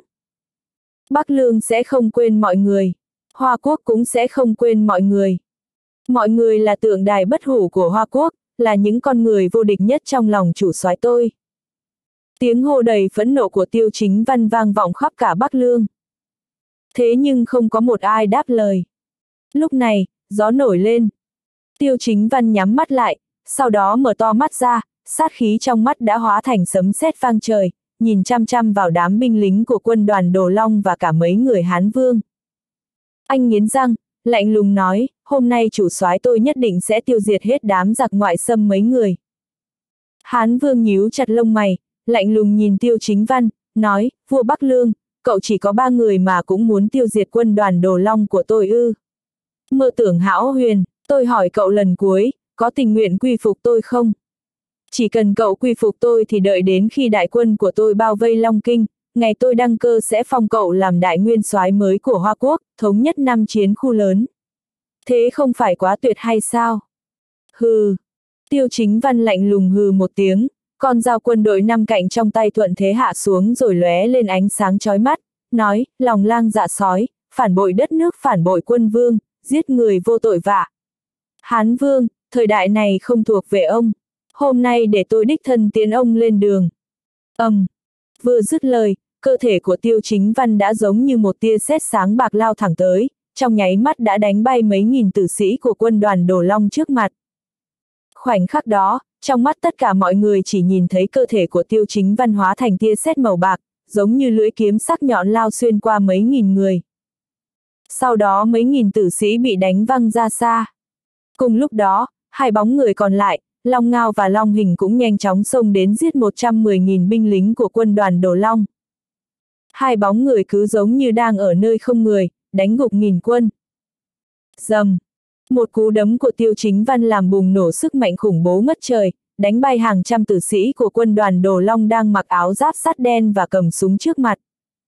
Sau đó, con dao quân đội năm cạnh trong tay anh biến thành một luồng ánh sáng màu bạc chói mắt, tạo ra một vòng cung khủng bố, cũng lại cướp đi sinh mạng của hàng trăm tử sĩ Đồ Long. Chỉ một lần đối diện, quân đoàn Đồ Long đã tổn thất mất gần 5.000 chiến sĩ. Hán Vương phẫn nộ, giơ bàn tay lớn lên nói, giết. Ba chiến tướng bên cạnh cụ ta cũng hóa thành hư ảnh chỉ trong nháy mắt, cùng với thiên quân vạn mã xông về phía mấy người tiêu chính văn. Long Ngao và Long Hình mỗi người chiến đấu với một tên, thực lực cũng na ná như nhau. Mà chiến tướng cuối cùng lại có thực lực thiên vương, xông thẳng về phía tiêu chính văn. Hắn thuận thế rút ra một cây giáo có thể thu gọn từ sau lưng, biến nó thành một cây giáo dài 2 mét màu bạc chỉ trong nháy mắt, nhắm thẳng vào ngực tiêu chính văn từ trong đám binh lính. Tiêu chính văn liếc mắt nhìn, trông thấy một điểm sáng đang mạnh mẽ lao về phía mình thì giơ tay lên phóng con dao quân đội năm cạnh ra. Choang! Giữa không trung, con dao quân đội năm cạnh và cây giáo dài chạm vào nhau, lóe lên những tia lửa sáng chói. Mà tên chiến tướng thiên vương đó cũng bị một lực xung kích rất lớn đánh cho lùi về sau mấy chục mét mới đứng vững lại được. Tiêu chính văn vẫn điềm nhiên đứng nguyên tại chỗ, hai mắt đanh lại lóe lên vẻ sắc lạnh nhìn tên chiến tướng thiên vương kia. Tên đó bật cười lạnh lùng, vùng cây giáo dài lên, gột ra lớp ánh bạc, nói anh rất mạnh. Tiêu chính văn hừ một tiếng, nói anh rất yếu. Nghe vậy, tên chiến tướng thiên vương kia liền xa sầm mặt mũi, phẫn nộ nói, muốn chết hả?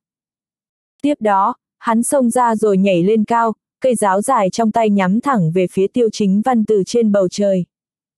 Tiêu chính văn cao mày nhìn cây giáo dài đang lao về phía mình từ trên không, cười khẩy, thân hình chuyển động nhanh như cắt. Bốp!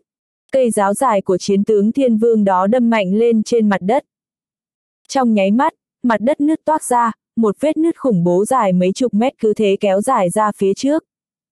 Thế nhưng, đòn đánh này rõ ràng đã bị hụt. Hơn nữa, tiêu chính văn cũng nhanh chóng giơ một chân lên đá từ một bên. Chiến tướng thiên vương đó lạnh lùng nhướng mày, giơ tay lên giữ lấy cây giáo dài, quay liền ba vòng liên tiếp rồi vung ra. Tiêu chính văn nhíu mày, nhanh chóng dừng chân, cả người lùi về phía sau. Chiến tướng thiên vương trước mặt đã đạt đến trình độ xuất sắc khi sử dụng giáo dài. Không thể chống đỡ. Ha ha ha, vua Bắc Lương, anh cũng chỉ đến thế mà thôi. Xem ra ngày hôm nay anh phải chết trong tay tôi rồi. Chiến tướng thiên vương đó cười nhạt, nhìn tiêu chính văn đang đứng cách mình mấy chục mét, phát ra tiếng cười khinh thường. Tiêu chính văn nhíu mày, khóe miệng cũng nở nụ cười khẩy, nói, vậy sao? Nếu đã như vậy thì chủ soái tôi phải sử dụng toàn lực rồi. Vừa dứt lời, chiến tướng thiên vương đó cao mày, nhìn tiêu chính văn bằng ánh mắt không thể tin nổi. Thế nào gọi là sử dụng toàn lực? Vừa rồi hắn vẫn chưa sử dụng hết toàn bộ công lực ư. Hắn không phải là thiên vương một sao hay sao? Thế nhưng, không đợi cho hắn hết kinh ngạc, tiêu chính văn lúc này đã bước từng bước về phía hắn. Mà cùng với từng nhịp bước chân của tiêu chính văn, khí thế trên người anh cũng nâng cao thêm một tầng. Liên tục 9 bước, khí thế trên người tiêu chính văn đã từ thiên vương một sao dâng lên thành khí thế của thiên vương huyền cấp 2 sao. Khoảnh khắc đó, tên chiến tướng thiên vương kia chết lặng. Hắn trừng mắt với vẻ không thể tin nổi, hoài nghi nói, anh, anh là thiên vương huyền thoại cấp 2 ư. Anh không thể đạt tới thực lực của thiên vương huyền cấp 2 chỉ trong khoảng thời gian ngắn như thế được. Ha ha, chuyện mà anh không biết vẫn còn rất nhiều. Ví dụ như, tiếp theo dây chính là lúc anh phải chết. Tiêu chính văn lạnh lùng nói, giữa chán lóe lên sát khí tàn khốc như núi lở biển động chương 989, Hán Vương là thiên vương ba sao. Vừa dứt lời, tiêu chính văn đã lao đến. Lúc này trên người tiêu chính văn toát ra sát khí đáng sợ như vị thần từ trên trời giáng xuống, cả người anh được bao bọc bởi ánh sáng màu vàng của quốc vận Hoa Quốc. Chiến tướng thiên vương đó nhíu mày, kinh ngạc nhìn tiêu chính văn. Khoảnh khắc đó, hắn bàng hoàng muốn đánh trả lại nhưng không biết tại sao chân lại không nghe theo lý trí. Âm! Um, đòn tấn công này của tiêu chính văn lao đến trong tích tắc cứ như sao băng lướt ngang qua trái đất đánh vào ngực chiến tướng thiên vương đó. Phụt! Chiến tướng thiên vương đó lập tức nôn ra mấy ngụm máu, nội tạng đảo ngược rồi văng ra xa, đập người vào hàng trăm tử sĩ quân đoàn đồ long ở đằng sau. Thậm chí hắn còn trượt dài dưới đất hàng trăm mét để lại một đường hình người trên mặt đất. Cảnh tượng vô cùng kinh khủng và khiến người ta thót tim. Xung quanh lặng ngắt như tờ. Lúc này sau khi nhìn thấy chiến tướng thiên vương bị đánh bay, các tử sĩ quân đoàn đồ long đang cầm súng quên mất mình đang chiến đấu, chỉ biết trợn mắt há mồm nhìn chiến tướng thiên vương ngã xuống đất. Gió cũng lặng xuống. Nhiệt độ giảm xuống mức đóng băng. Cộp cộp cộp. Tiêu chính văn từng bước đi đến chỗ cường giả thiên vương ngã trong vũng máu. Các tử sĩ quân đoàn đồ long đều vội vàng nhường đường, sợ sẽ gây thù chuốc oán với vị sát thần này. Cộp. Bước cuối cùng, tiêu chính văn lạnh lùng đứng trước mặt chiến tướng thiên vương cả người dính đầy máu. Lúc này chiến tướng thiên vương ngã vào vũng máu ôm ngực trái đã bị gãy hết xương sườn, hoảng sợ nhìn tiêu chính văn nói, anh, anh mạnh đến thế cơ à? Tiêu chính văn cười khẩy nói, có muốn để lại lời trăng chối gì không? Chiến tướng Thiên Vương hừ một tiếng nói, dù anh có mạnh hơn nữa thì khi đấu với quân đoàn Đồ Long cũng chẳng là gì cả. Hán Vương nhất định sẽ mang theo mục tiêu vĩ đại của bọn tôi giành lấy vị trí bá chủ. Ôn quá, sắp chết đến nơi rồi mà còn hoang tưởng. Tiêu chính văn lạnh lùng nói, con dao quân đội năm cạnh bỗng bắn ra đâm thẳng vào ngay ngực của chiến tướng Thiên Vương đó. Chiến tướng Thiên Vương không kịp hấp hối đã bị đâm chết ngay tại chỗ. Một chiến tướng Thiên Vương cứ thế mà chết trên chiến trường. Tiêu chính văn cất con dao quân đội năm cạnh đi, ánh mắt lạnh lẽo đảo qua một nghìn người xung quanh. Lúc này sát khí ngùn ngụt trên người anh như mạnh mẽ hơn bao trùm lấy chiến trường khiến đội quân quân đoàn đổ long khiếp sợ. Giết, xông lên cho tôi, hắn chỉ có một mình thôi. Đứng ở phía sau, Hán Vương cực kỳ tức giận khi tận mắt nhìn thấy Tiêu Chính Văn giết chết chiến tướng của mình, cụ ta vung tay lên. Sau đó hàng chục nghìn tử sĩ quân đoàn đồ long lao đến chỗ Tiêu Chính Văn. Lúc này Tiêu Chính Văn, Long Ngao và Long Hình nghênh đón đỡ đòn của hàng chục nghìn tử sĩ quân đoàn đồ long. Khói lửa bay đầy trời. Tiêu Chính Văn hét lên, giết, kẻ xâm phạm vào Hoa Quốc thì không thể sống. ầm ầm ầm. Trong thoáng chốc, ba người họ toát ra ý chí chiến đấu rất đáng sợ. Khoảnh khắc đó ba người như ba luồng ánh sáng chiếu thẳng lên trời. Ba người tiêu chính văn xông thẳng vào quân địch. Ra đòn rất mạnh mẽ, rất quyết đoán. Tốc độ cực kỳ nhanh. Họ giật lấy súng tiểu liên, đạn bắn ra như mưa, xác chết nằm la liệt. Cuộc chiến này hoàn toàn do ba người nắm quyền chủ động. Trải qua trận chiến vừa nãy, 100.000 quân đồ long chỉ còn lại 50.000. Lúc này 50.000 người này cũng lao vào trận chiến ác liệt. Ba người hợp sức cản lại bước tiến của quân đoàn đồ long 50.000 người này. Dầm! Tiêu chính văn lướt ngang qua 1.000 quân địch ở trước mặt như sấm sét. Sau đó anh xông thẳng vào giết gần hết đội quân hàng chục nghìn người của quân đoàn đồ long như mãnh hổ. Cuối cùng, một đòn tấn công của tiêu chính văn làm nổ mấy chục binh sĩ trước mặt thành cảnh tượng đẫm máu, sau đó ánh mắt sắc lẹm nhìn Hán Vương. Lúc này Hán Vương chắp hai tay ra sau lưng, mặc một bộ áo dài màu xanh, trước ngực còn khắc hình rồng vàng. Dã tâm quá lớn, tham vọng rõ ràng. Hừ, vua Bắc Lương, phải nói là cậu rất mạnh, thực lực thiên vương huyền cấp 2 sao khiến tôi không thể ngờ đến. Hán Vương lạnh lùng hừ một tiếng, môi cong lên một nụ cười nham hiểm, nếu tôi nhớ không lầm thì nửa tháng trước cậu mới chỉ là thiên vương một sao thôi nhỉ. Trong vòng nửa tháng từ thiên vương một sao thăng cấp lên thiên vương huyền cấp 2 sao quả thật là không người nào làm được. Không hổ là con cháu của nhà họ tiêu, quả nhiên là gia tộc được thừa kế quốc vận của Hoa Quốc. Nhưng hôm nay tôi ở đây đã định sẵn là sẽ giết chết cậu. Vừa dứt lời, Hán Vương cởi áo dài trên người mình ra rồi ném sang một bên, lột sạch ánh màu xanh trong không trung. Mà trên người cụ ta vẫn còn một bộ áo dài màu vàng. Hán Vương đã chuẩn bị mọi thứ trước khi đến. Vốn dĩ bộ áo dài màu vàng này là cụ ta định cho binh sĩ bao vây Long Kinh, ép thiên tử nhường ngôi và phải thông báo với toàn thế giới. Nhưng bây giờ tiêu chính văn xuất hiện và bản lĩnh của tiêu chính văn đã nằm ngoài suy tính của cụ ta. Có điều, mọi chuyện đều nằm trong tầm kiểm soát.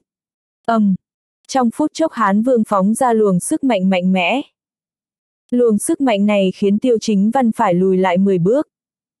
Khí thế của thiên vương địa cấp 3 sao bao trùm lấy mọi thứ xung quanh như nghiền nát tất cả. Tiêu chính văn nhíu mày nhìn chằm chằm vào Hán Vương đã phóng ra hơi thở đáng sợ của thiên vương địa cấp 3 sao. Hóa ra ông ta là thiên vương 3 sao. Lúc này Hán Vương mỉm cười nham hiểm, xoay cổ phát ra tiếng răng rắc, một bước đạp nứt mặt đất, những mảnh đá vụn dưới chân cũng bay lên không trung sau đó vỡ thành từng mảnh. Hán vương giang hai tay ra mặc cho khí thế thiên vương địa cấp 3 sao trên người cuộn trào, nói, vua Bắc Lương, cho cậu cơ hội cuối cùng suy xét có về phe của tôi hay không. Đợi khi tôi có được vị trí thiên tử, cậu chính là đại nguyên soái đầu tiên của Hoa Quốc. Hừ. Tiêu chính văn hừ một tiếng, luồng sức mạnh thiên vương huyền cấp 2 sao cũng đột nhiên bộc phát. Anh lạnh lùng nói, thiên tử sống theo đạo lý của trời, đối xử với nhân dân với đạo lý của người đứng đầu đất nước chứ không phải là bá quyền như ông nói. Hán vương, người như ông có dã tâm quá lớn. Trong mắt ông, cả đất nước, hàng trăm triệu dân chẳng qua chỉ là công cụ để cho ông giành lấy bá quyền và dã tâm của ông mà thôi. Ha ha ha! Hán vương bật cười nói, đất nước, nhân dân, hàng nghìn năm lịch sử chứng minh chúng chẳng qua chỉ là những người ở tầng lớp bần cùng. Lấy máu và mạng sống của chúng để đổi lấy bá quyền hàng trăm năm, hàng nghìn năm thậm chí là hàng chục nghìn năm của Hoa Quốc. Như thế Hoa Quốc sẽ mãi đứng trên đỉnh cao của thế giới, được các nước kính sợ, có gì không tốt chứ? Tiêu chính văn nhướng mày nói, kính sợ ư, đó là sợ hãi, ngay cả tính mạng người dân của mình mà ông cũng không hề quan tâm thì lấy tư cách gì mà đòi thống nhất thiên hạ. Người như ông thì chỉ để tâm đến sát hại, chỉ có tàn phá mà thôi. Nếu đã thế thì hôm nay tôi sẽ giết chết Hán Vương ông. Vừa dứt lời, tiêu chính văn lập tức xông đến giết Hán Vương. Hán Vương nhíu mày, khí thế bùng phát, đầu tóc bạc dựng ngược lên lạnh lùng nói, không tự lượng sức mình. Lấy trứng trọi đá, đom đóm nhỏ mà cũng dám tranh với mặt trời à. Chết đi. chương 990, chiến đấu. Lúc này luồng sức mạnh trên người Hán Vương cực kỳ đáng sợ, cả người đều toát ra sát khí cuồng bạo như một quả bom hạt nhân. Cụ ta đứng tại đó cả người cuộn trào sát khí chấn động trời đất, mắt nhìn chằm chằm tiêu chính văn đang xông đến cười nhạo nói, chậm. Quá chậm. Lúc nói thì cụ ta lao ra nhanh như chớp, sau đó bỗng đứng ngay trước mặt tiêu chính văn. Khoảnh khắc đó, uy lực ngút trời toát ra từ người Hán Vương. Cụ ta cứ thế đứng trước mặt tiêu chính văn nhếch môi đánh một đòn vào người anh. Đòn tấn công này nhanh như chớp. Hơn nữa sức mạnh như đang bùng nổ. Như một quả bom hạt nhân cỡ nhỏ nổ tung tạo thành cột ánh sáng đáng sợ đánh về phía tiêu chính văn. Thậm chí lúc này quanh người Hán Vương có một lớp khí dày đặc màu trắng nhạt. ầm, um, tiêu chính văn không cản được đòn tấn công này. Vì tốc độ của Hán Vương quá nhanh. Anh chỉ có thể bị động nhấc hai cánh tay lên đan chéo vào nhau chắn trước người. Dầm. Ngay sau đó, tiêu chính văn bị văng ra xa vài trăm mét, hai chân ma sát dưới đất kéo ra hai đường dài đáng sợ trên nền đất đầy máu. Dầm. Cả chiến trường đều lặng ngắt như tờ. Lúc này 50.000 binh sĩ quân đoàn Đồ Long đồng loạt lùi đến một nơi cách đó khá xa. Long Ngao và Long Hình cũng lập tức lao đến tấn công Hán Vương. Nhưng, hai bậc cảnh giới chủ soái hoàn toàn không có chút uy hiếp nào với một Hán Vương đang ở cảnh giới thiên vương địa cấp 3 sao. Hừ. Hán Vương lạnh lùng hừ một tiếng, một chân một tay đá văng Long Ngao và Long Hình ra xa vài trăm mét. Hai người rơi xuống đất, nảy người lên vài cái, mặt đất xuất hiện mấy cái hố sâu hình người sau đó ngã xuống đất, ôm ngực nôn ra máu. Mạnh quá! Sức mạnh khủng khiếp! Đây chính là sức mạnh của thiên vương địa cấp 3 sao ư. Lúc này hán vương kiêu ngạo cười khẩy, đôi mắt bắn ra sát khí sắc lẹm nhìn mấy người tiêu chính văn nói, tôi đã nói rồi, các cậu chẳng qua chỉ là đám tôm tép ở trước mặt tôi thôi. Thuận theo tôi thì sống, làm trái ý tôi thì chết. Tôi đã cho cậu cơ hội rồi, vua Bắc Lương à, đáng tiếc cậu không biết trân trọng. Nếu đã vậy thì tôi phải giết cậu, cả Bắc Lương này sẽ là nơi chôn vùi xác của cậu. Cậu yên tâm, đợi sau khi cậu chết, tôi sẽ làm lễ chôn các cậu, cũng sẽ đối xử tốt với người nhà cậu. Dứt lời, Hán Vương bước một bước ra, mặt đất dưới chân bị sóng khí màu trắng dày đặc đáng sợ quanh người cụ ta làm cho nứt toác. Lúc này tiêu chính văn lau khóe miệng, mắt lạnh như băng nhìn Hán Vương trước mặt cười nói, hừ. Chỉ sợ Bắc Lương sẽ là nơi chôn vùi ông thôi. Anh vừa dứt lời, Hán Vương đã chủ động lao đến. Ngay lúc cụ ta lao đến, luồng sức mạnh thiên vương địa cấp 3 sao đáng sợ đó dường như có thể hủy diệt cả trời đất, không thể nào ngăn chặn được nó. Tiêu chính văn cao mày phóng ra luồng sức mạnh thiên vương huyền cấp 2 sao, mạnh mẽ lao đến đối đầu với Hán Vương. Giữa hai người bỗng bộc phát ra sức chiến đấu khủng khiếp. Không thể nào hình dung bằng ngôn từ về cả trận chiến. Quá khủng khiếp, cực kỳ chấn động. Cả 10 cây số của chiến trường đều là nơi hai người họ đánh nhau. Mặt đất nứt toác, tan tành. đôi núi sụp đổ. Tường thép cũng cong lại như sắp đổ. Thậm chí tầng mây trên trời đã bị hai luồng luồng sức mạnh đáng sợ trên mặt đất đánh tan. ầm, um, Hán Vương bỗng nhấc chân đá mạnh vào nắm đấm của Tiêu Chính Văn. Sau đó Tiêu Chính Văn văng ra ngoài như một viên đạn pháo bay ngược, đập người làm vỡ bức tường thép, làm nổ mấy chiếc xe tăng, cuối cùng đập người vào một ngọn đồi. Chỉ trong phút chốc, cả đồi núi đó phát ra tiếng ầm, khói bụi bay tứ tung nứt ra vài đường, đất đá vỡ nát bắt đầu sụp xuống. Cảnh tượng này khiến mọi người kinh hoàng. Mọi người đều nhìn chăm chú vào ngọn đồi đó. Long Ngao và Long Hình thấy thế, dù bị thương nặng cũng cố sức đứng dậy, vội vàng lao đến chặn trước mặt Hán Vương. Hán Vương cau mày, dừng bước nhìn hai người này nói, kẻ nào cản đường tôi đều phải chết. Các cậu không phải là đối thủ của tôi, không cần phải hy sinh vô nghĩa. Long ngao lau máu nơi khóe miệng nói, chúng tôi chỉ chết vì Long Vương. Lão già hèn hạ Hán Vương ông muốn giết Long Vương thì phải bước qua xác bọn tôi trước đã. Anh ta vừa dứt lời. Hán Vương nhướng mày, cơ thể nhanh như chớp lao đến, sau đó bóp chặt cổ anh ta trong ánh mắt hoảng hốt của Long Ngao rồi nhấc anh ta từ dưới đất lên. Long Ngao cảm thấy chấn động. Tốc độ khủng khiếp quá. Mình là cảnh giới chủ soái năm sao thế mà không hề nhìn thấy được tốc độ của Hán Vương. Lúc này Hán Vương túm chặt lấy cổ Long Ngao sách lên, tay dùng sức, lạnh lùng nói, tôi muốn giết cậu thì chỉ như giết một con kiến mà thôi. Lúc này mặt Long Ngao đỏ bừng, cố gắng dẫy dụa nhưng hoàn toàn vô ích. Uy lực thiên vương địa cấp 3 sao của Hán Vương quá mạnh. Sức mạnh này có thể đè ép tất cả những người dưới cảnh giới thiên vương. Khiến họ không thể có bất kỳ ý thức phản kháng nào. Lúc này Long Hình bỗng rút con dao găm bên thắt lưng đâm về phía Hán Vương. Nhưng Hán Vương quay đầu lại, ánh mắt lóe lên sát khí ngút trời nhìn chằm chằm vào Long Hình.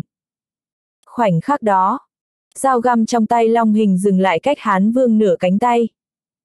Sau đó dù Long Hình có dùng sức thế nào cũng không thể khiến dao găm đâm về phía trước một cm nào nữa. Bởi vì uy lực thiên vương địa cấp 3 sao trên người Hán Vương quá mạnh, nó đã có thể khống chế khả năng chiến đấu của tất cả cường giả ở cảnh giới dưới thiên vương. Chỉ một ánh mắt thôi cũng khiến Long Hình không thể hoạt động, cả người như bị rơi vào hầm băng lạnh lẽo một nghìn năm. Ngay sau đó Hán Vương nhấc chân lên đá vào Long Hình khiến anh ta văng ra ngoài. Long Hình văng ngược lại như đạn pháo, đâm sầm vào trong đồi núi, không rõ sống chết. Long Ngao trơ mắt nhìn đồng đội của mình bị đá bay, còn Long Vương thì vẫn chưa biết sống chết thế nào. Anh ta vô cùng phẫn nộ nhưng lại không thể làm được gì. Đây chính là sự khác biệt cảnh giới. Là sự khác biệt giữa thiên vương và chủ soái. Dẫy đi, cố sức mà dẫy, tôi thích nhìn dáng vẻ bất lực, không thể nào vùng vẫy, dẫy dụa của đám yếu ớt các cậu trước sức mạnh tuyệt đối. Hán vương cười nhạo nói, thế giới này không bao giờ chứa chấp những kẻ yếu ớt. Chỉ có kẻ mạnh mới có thể tồn tại, mới có thể đặt ra quy tắc. Long ngạo khổ sở vùng vẫy, mặt đỏ bừng thốt ra một câu, thế giới này, cái ác không bao giờ thắng chính nghĩa. Lão già hèn hạ Hán Vương, kẻ phản nước phản vua như ông là tội đồ của Hoa Quốc, người người khinh bỉ. Dù chúng tôi có chết thì sau này cũng có nhiều người đứng ra đánh bại ông. Ha ha ha! Hán Vương bật cười nói, muốn đánh bại tôi à? Đúng là nực cười, tôi sẽ tiến cậu xuống địa ngục trước. Dứt lời, Hán Vương dùng sức vừa định bóp chết Long Ngao thì ngọn đồi phát ra tiếng nổ, một luồng ánh sáng màu vàng bắn ra. Đòn đánh này của Tiêu Chính Văn còn mang theo cả sát khí như có thể làm long trời lở đất lao đến chỗ Hán Vương. Hán Vương quay đầu lại cao mày nhìn Tiêu Chính Văn đang lao đến, cười nhạo nói, có đấu tranh cũng vô dụng, nếu cầu cứu thì thôi. Nhưng cụ ta còn chưa nói xong đã bị Tiêu Chính Văn đấm một cú vào mặt. Dầm! Hán Vương lộ ra vẻ kinh ngạc, cụ ta bị trúng một đòn bay lên không trung rồi văng ra xa vài trăm mét, sau đó đập mạnh người xuống đất, mặt đất xuất hiện một cái hố sâu hình người. Mọi người đều kinh ngạc. Thiên vương huyền cấp 2 sao dùng một đấm mà đánh bay thiên vương địa cấp 3 sao. chương 991, tiêu chính văn hy sinh. Phù phù phù, tiếng thở hổn hển vang lên. Tiêu chính văn lau máu nơi khóe miệng, mắt nhìn hán vương bị đấm văng ra xa vài trăm mét. Lúc này cả người tiêu chính văn be bét máu, sát khí trong mắt tỏa ra khắp nơi. Hán vương bước ra từ cái hố sâu hình người đó, sát khí thiên vương địa cấp 3 sao bao trùm lấy cả 10 cây số. Cụ ta giơ tay lên phủi bụi trước ngực. Vừa nãy, cụ ta nhận ra một đòn của tiêu chính văn lại có thể phá vỡ thế phòng ngự của mình. Đây là chuyện không thể xảy ra. Lúc này cụ ta nhướng mày, cười nham hiểm nhìn tiêu chính văn cả người dính đầy máu nói, vua Bắc Lương, quả nhiên cậu khiến tôi rất bất ngờ. Cậu là người đầu tiên dựa vào sức mạnh thiên vương huyền cấp 2 sao có thể đánh chúng tôi. Phải nói là tôi rất tán thưởng cậu, nên tôi đồng ý cho cậu một cơ hội cuối cùng, nghe theo lời tôi, về làm trợ thủ cho tôi. Tiêu chính văn cười khẩy nói, Hán Vương, ông nên hết hy vọng đi. Hôm nay dù có phải liều mạng tôi cũng phải giết chết ông. Dứt lời, tiêu chính văn lại lao đến. Lần này luồng sức mạnh thiên vương huyền cấp 2 sao của tiêu chính văn đạt đến mức đỉnh cao. Cùng lúc đó hơi thở quốc vận hoa quốc màu vàng nhạt trên người anh cũng càng sáng chói. Hán vương cau mày nhìn tiêu chính văn đang xông đến, lạnh lùng nói, lễ rửa tội quốc vận. Không thể nào, tại sao lễ quốc vận lại mở trước thời gian chứ? Ngay lúc Hán Vương còn đang cảm thấy khó hiểu thì Tiêu Chính Văn đã tấn công đến. Dù cậu có lễ rửa tội quốc vận thì thế nào? Tôi là thiên vương địa cấp 3 sao, không phải là người mà một thiên vương huyền cấp 2 sao như cậu có thể đánh lại. Cậu không tự lượng sức mình thì chết đi. Hán vương tức giận hét lên rồi cũng lao ra. Dầm dầm dầm. Trong thoáng chốc, hai người bước vào trận chiến ác liệt. Nhưng hiển nhiên là tiêu chính văn nằm ở thế bất lợi. Dù sao thì cũng tranh lệch một cảnh giới. Hơn nữa lại đang đấu với thiên vương địa cấp 3 sao, nên tiêu chính văn hoàn toàn không có cơ hội thắng. Hừ. Hán vương lạnh lùng hừ một tiếng, một chân đá tiêu chính văn văng ra ngoài như bá vương giáng trần, sau đó lạnh lùng nói, vua Bắc Lương, kết cục đã định sẵn rồi. Cậu sẽ chết trong tay tôi, thế thì cần gì phải tranh đấu nữa. Lúc này tiêu chính văn bay ra xa khó khăn lắm mới đứng vững được, lảo đảo đứng dậy, cả người be bét máu. Nhưng hai mắt anh đỏ ngầu, cả người toát ra sát khí kết hợp với máu trên người tạo nên sự phối hợp mãnh liệt. Lúc này anh hệt như thần chết bước ra từ địa ngục. Dù tôi có chết thì cũng phải lôi ông theo. Tiêu chính văn lạnh lùng nói, sau đó hét lên rồi lại lao đến. Nhưng, một đấm, Hán Vương chỉ dùng một đấm đã đánh bay tiêu chính văn lần nữa. Sau đó đòn tấn công như vũ bão liên tục đánh vào người tiêu chính văn. Khoảnh khắc đó tiêu chính văn không còn sức để đánh trả nữa. Cho đến khi Hán Vương kết thúc đợt tấn công, tiêu chính văn đã bị thương khắp người ngã xuống đất. Cộp cộp cộp. Hán Vương cất bước đi đến trước mặt tiêu chính văn nằm trong vũng máu, từ trên cao nhìn xuống, ánh mắt hiện lên vẻ hung ác nói, vua Bắc Lương, đáng tiếc hôm nay cậu chắc chắn phải chết trên tay tôi rồi. Dứt lời, Hán Vương giơ tay lên rút một thứ từ thắt lưng ra, sau đó lòng bàn tay cụ ta xuất hiện một cây giáo liệt long màu đỏ. Cây giáo liệt long chỉ có một màu đỏ như ngọn lửa. Trên thân cây giáo được khắc hình rồng bay màu đỏ sống động như thật. Thân giáo và đầu giáo được tạo thành hình đuôi rồng và đầu rồng, rất có uy lực. Dù cách hàng trăm mét cũng có thể cảm nhận được sóng khí thiêu đốt nóng rực từ trên cây giáo liệt long màu đỏ đó. Lúc này Hán Vương cầm chặt cây giáo dơ lên giữa không trung nhắm chuẩn xác vào ngực tiêu chính văn, môi cong lên nụ cười nham hiểm, vua Bắc Lương, hãy nói lời tạm biệt với thế giới này đi. Cậu yên tâm, sau khi cậu chết, tôi sẽ đối xử thật tốt với người nhà của cậu. Con gái cậu có dòng máu của nhà họ tiêu nên tôi nhất định sẽ dạy dỗ nó, để nó trở thành chiến tướng hàng đầu dưới trướng của tôi. Cả người tiêu chính văn be bét máu, nhìn chằm chằm vào chút ánh đỏ trên đầu của cây giáo liệt long màu đỏ trong tay Hán Vương. Chết đi! Hán Vương hét lên, cây giáo liệt long trong tay mang theo ánh đỏ bắn xuống đất như sao băng lướt ngang qua bầu trời. Bằng! Cây giáo xuyên qua ngực tiêu chính văn. Sát khí đáng sợ và sức mạnh như bùng nổ phá tan mặt đất, đất cát bay tứ tung, đá vụn bay lên trời, sau đó vỡ tan tành. Tiêu chính văn cũng cong người bay lên trời như một cây cung. Lúc đó, trời đất như mất đi màu sắc tươi đẹp vốn có, mây đen ùn ùn đè ép xuống mặt đất. Ngay lúc đó, máu bắt đầu lan ra. Khoảnh khắc đó, ở cuối chân trời phía xa, mấy bóng người đến rất nhanh mang theo luồng sức mạnh đáng sợ của cường giả thiên vương một sao và thiên vương huyền cấp hai sao bỗng lao đến giết hán vương. Tên hèn hạ hán vương kia, hôm nay bọn tôi sẽ giết chết ông. Lão già hèn hạ kia chết đi. Vua Bắc Lương. ầm, um. Ngay tức khắc, bảy người mang theo uy lực và sát khí ngút trời lao đến chỗ Hán Vương. Lúc này đại quốc lão cũng nhanh chóng chạy đến chỗ tiêu chính văn, nhìn mặt đất hỗn loạn và tiêu chính văn nằm trong vũng máu. Ngực xuất hiện một lỗ đạn rất đáng sợ. Phát bắn này của Hán Vương đã phá hủy nội tạng của Tiêu Chính Văn. Dù có thần tiên xuống cũng khó là cứu sống anh. Đại quốc lão vô cùng tức giận, ánh mắt hiện lên lửa giận ngút trời. Cụ ấy ngồi xổm xuống nhìn Tiêu Chính Văn nói, chúng tôi đến rồi, cậu làm tốt lắm. Lúc này hai mắt Tiêu Chính Văn đã mơ màng, nhìn đại quốc lão xuất hiện trước mặt, nở nụ cười nói tôi chết vì đất nước nên không hề hối hận. Đại quốc lão, hãy chăm sóc, Vi Nhan và Nana thay tôi. Mắt đại quốc lão hơi ươn ướt, gật đầu, được. Lúc này bảy vị thiên vương đó đang hỗn chiến với Hán Vương. Dù sao Hán Vương cũng là thiên vương địa cấp 3 sao nên tất nhiên bảy thiên vương một sao và thiên vương hai sao khó mà đánh lại cụ ta. Thấy thế, đại quốc lão nhíu mày bước đến ra đòn với Hán Vương. Trận chiến lập tức rơi vào tình thế ác liệt. Tiêu chính văn nằm trên mặt đất hỗn độn ngước mặt lên nhìn những đám mây trên bầu trời. Trước mắt là màn sương khói của quá khứ. Bắt đầu từ lúc tham gia vào quân đội, anh đã không hề sợ chết. Trong lòng anh, Hoa Quốc luôn chiếm vị trí đầu tiên. Nhưng từ sau khi biết mình có một đứa con gái đáng yêu, có vi nhan, sâu tận bên trong trái tim tiêu chính văn luôn hiện hữu một nỗi sợ. Là nỗi sợ với sinh mạng, sợ hãi cái chết. Anh muốn ở bên cạnh Khương Vi Nhan và Nana suốt đời. Anh muốn bù đắp 5 năm mình từng bỏ lỡ. Vi Nhan, Nana, xin lỗi hai người. Anh không thể thực hiện lời hứa của chúng ta, không thể sống suốt đời bên hai người được rồi. Nana, bố nuốt lời rồi, đừng trách bố, kiếp sau bố lại làm anh hùng của con.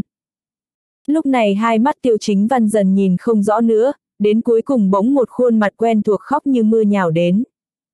Bên tai là tiếng khóc quen thuộc. Trước mắt là khuôn mặt quen thuộc. Là Khương Vi Nhan sớ. Là cô ấy à? Tiêu chính văn mỉm cười, anh cảm thấy mình mệt mỏi quá rồi, tiếng khóc bên tai càng nhỏ dần đi, anh không thể nghe được gì nữa, những gương mặt trước mắt dần trở nên mờ ảo. Mệt quá, mệt lắm rồi. Chồng, chồng ơi! Anh đừng chết, anh hứa với em là anh sẽ sống hạnh phúc suốt đời với em và Nana rồi mà. Tiêu chính văn, anh đừng chết. Khoảnh khắc Deeto, 200.000 người quân phá Long Bắc Lương, 200.000 chiến sĩ chiến khu Tây Mãng chạy đến đều gào lên một tiếng kinh thiên động địa, lao vào giết hết 50.000 tử sĩ quân đoàn Đồ Long còn sót lại. Dưới mặt đất, binh sĩ dày đặc, nhiệt huyết sôi sục. Trên trời, đủ các kiểu, các loại máy bay chiến đấu. Trên mặt đất, xe thiết giáp, xe tăng, xe phá. Lúc này, hàng chục nghìn người này cách ra một khu vực trống. Một đám người vây quanh bên cạnh. Liễu Thanh, Long Nhất, Long Nhị, đến Long Bát và Hoa Hồng Đỏ.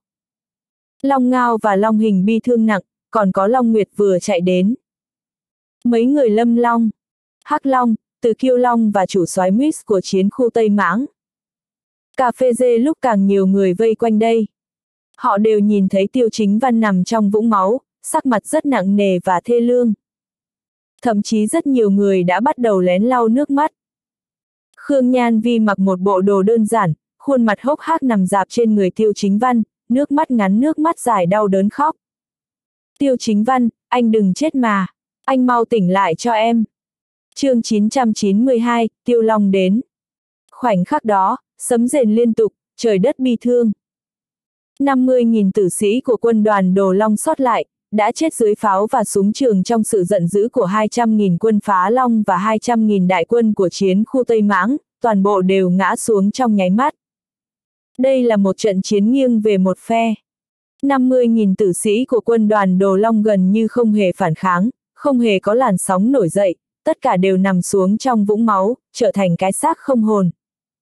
Cả Bắc Lương nhuốm đỏ một màu, máu nhuộm ngàn cây số, xác chết ngổn ngang khắp nơi. Sau đó, cả 400.000 đại quân, bày trận bao vây lấy cả chiến trường. Tất cả đều hướng mắt về đám người đang vây quanh bên kia. 200.000 quân phá Long Bắc Lương đang dơ cao lá cờ hắc kim long, gầm lên giận dữ. Bọn họ, quỳ một chân xuống đất, cao giọng gào thét về phía tiêu chính văn đang nằm bên đó. Hô, hô, hô. Bắc Lương oai phong. Chủ soái oai phong. Bắc Lương oai phong. Chủ soái oai phong. Những tiếng gào thét này đã chấn động cả đất trời, làm hàng triệu đại quân khiếp sợ, vang vọng khắp chiến khu Bắc Lương. Tất cả đều sục sôi nhiệt huyết, đều bị tiếng gào thét này kích thích ý chí chiến đấu bất diệt. Sau đó, chủ soái mới của chiến khu Tây Mãng giơ cao cây giáo màu đen, bất ngờ vung lên, quỳ một gối xuống đất tức giận hét lớn, lá cờ vua Tây Mãng tung bay. Binh lính Tây Mãng quỳ xuống. Một âm thanh gào thét này như tiếng hổ gầm, vang khắp chiến trường.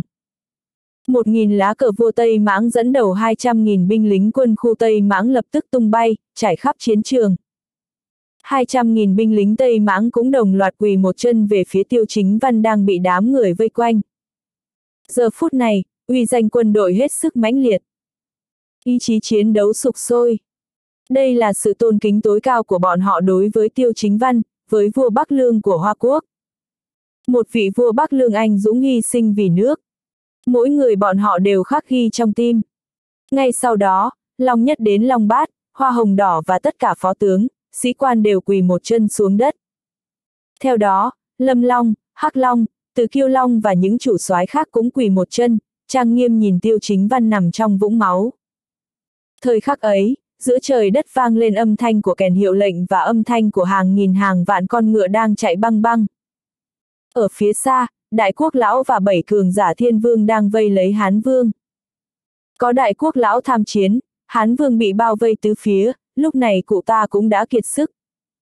Tóc cụ ta rối bời, toàn thân be bét máu, hai mắt u ám, hệt như bị tẩu hỏa nhập ma. Bản vương không cam tâm. Hán vương tức giận giống lên, sau đó điên cuồng chém giết đám người đại quốc lão. Đại quốc lão lạnh lùng hừ một tiếng, tức tối nói, Hán vương, hôm nay chính là ngày chết của ông. Dứt lời, đám người đại quốc lão lại lao vào tấn công lần nữa.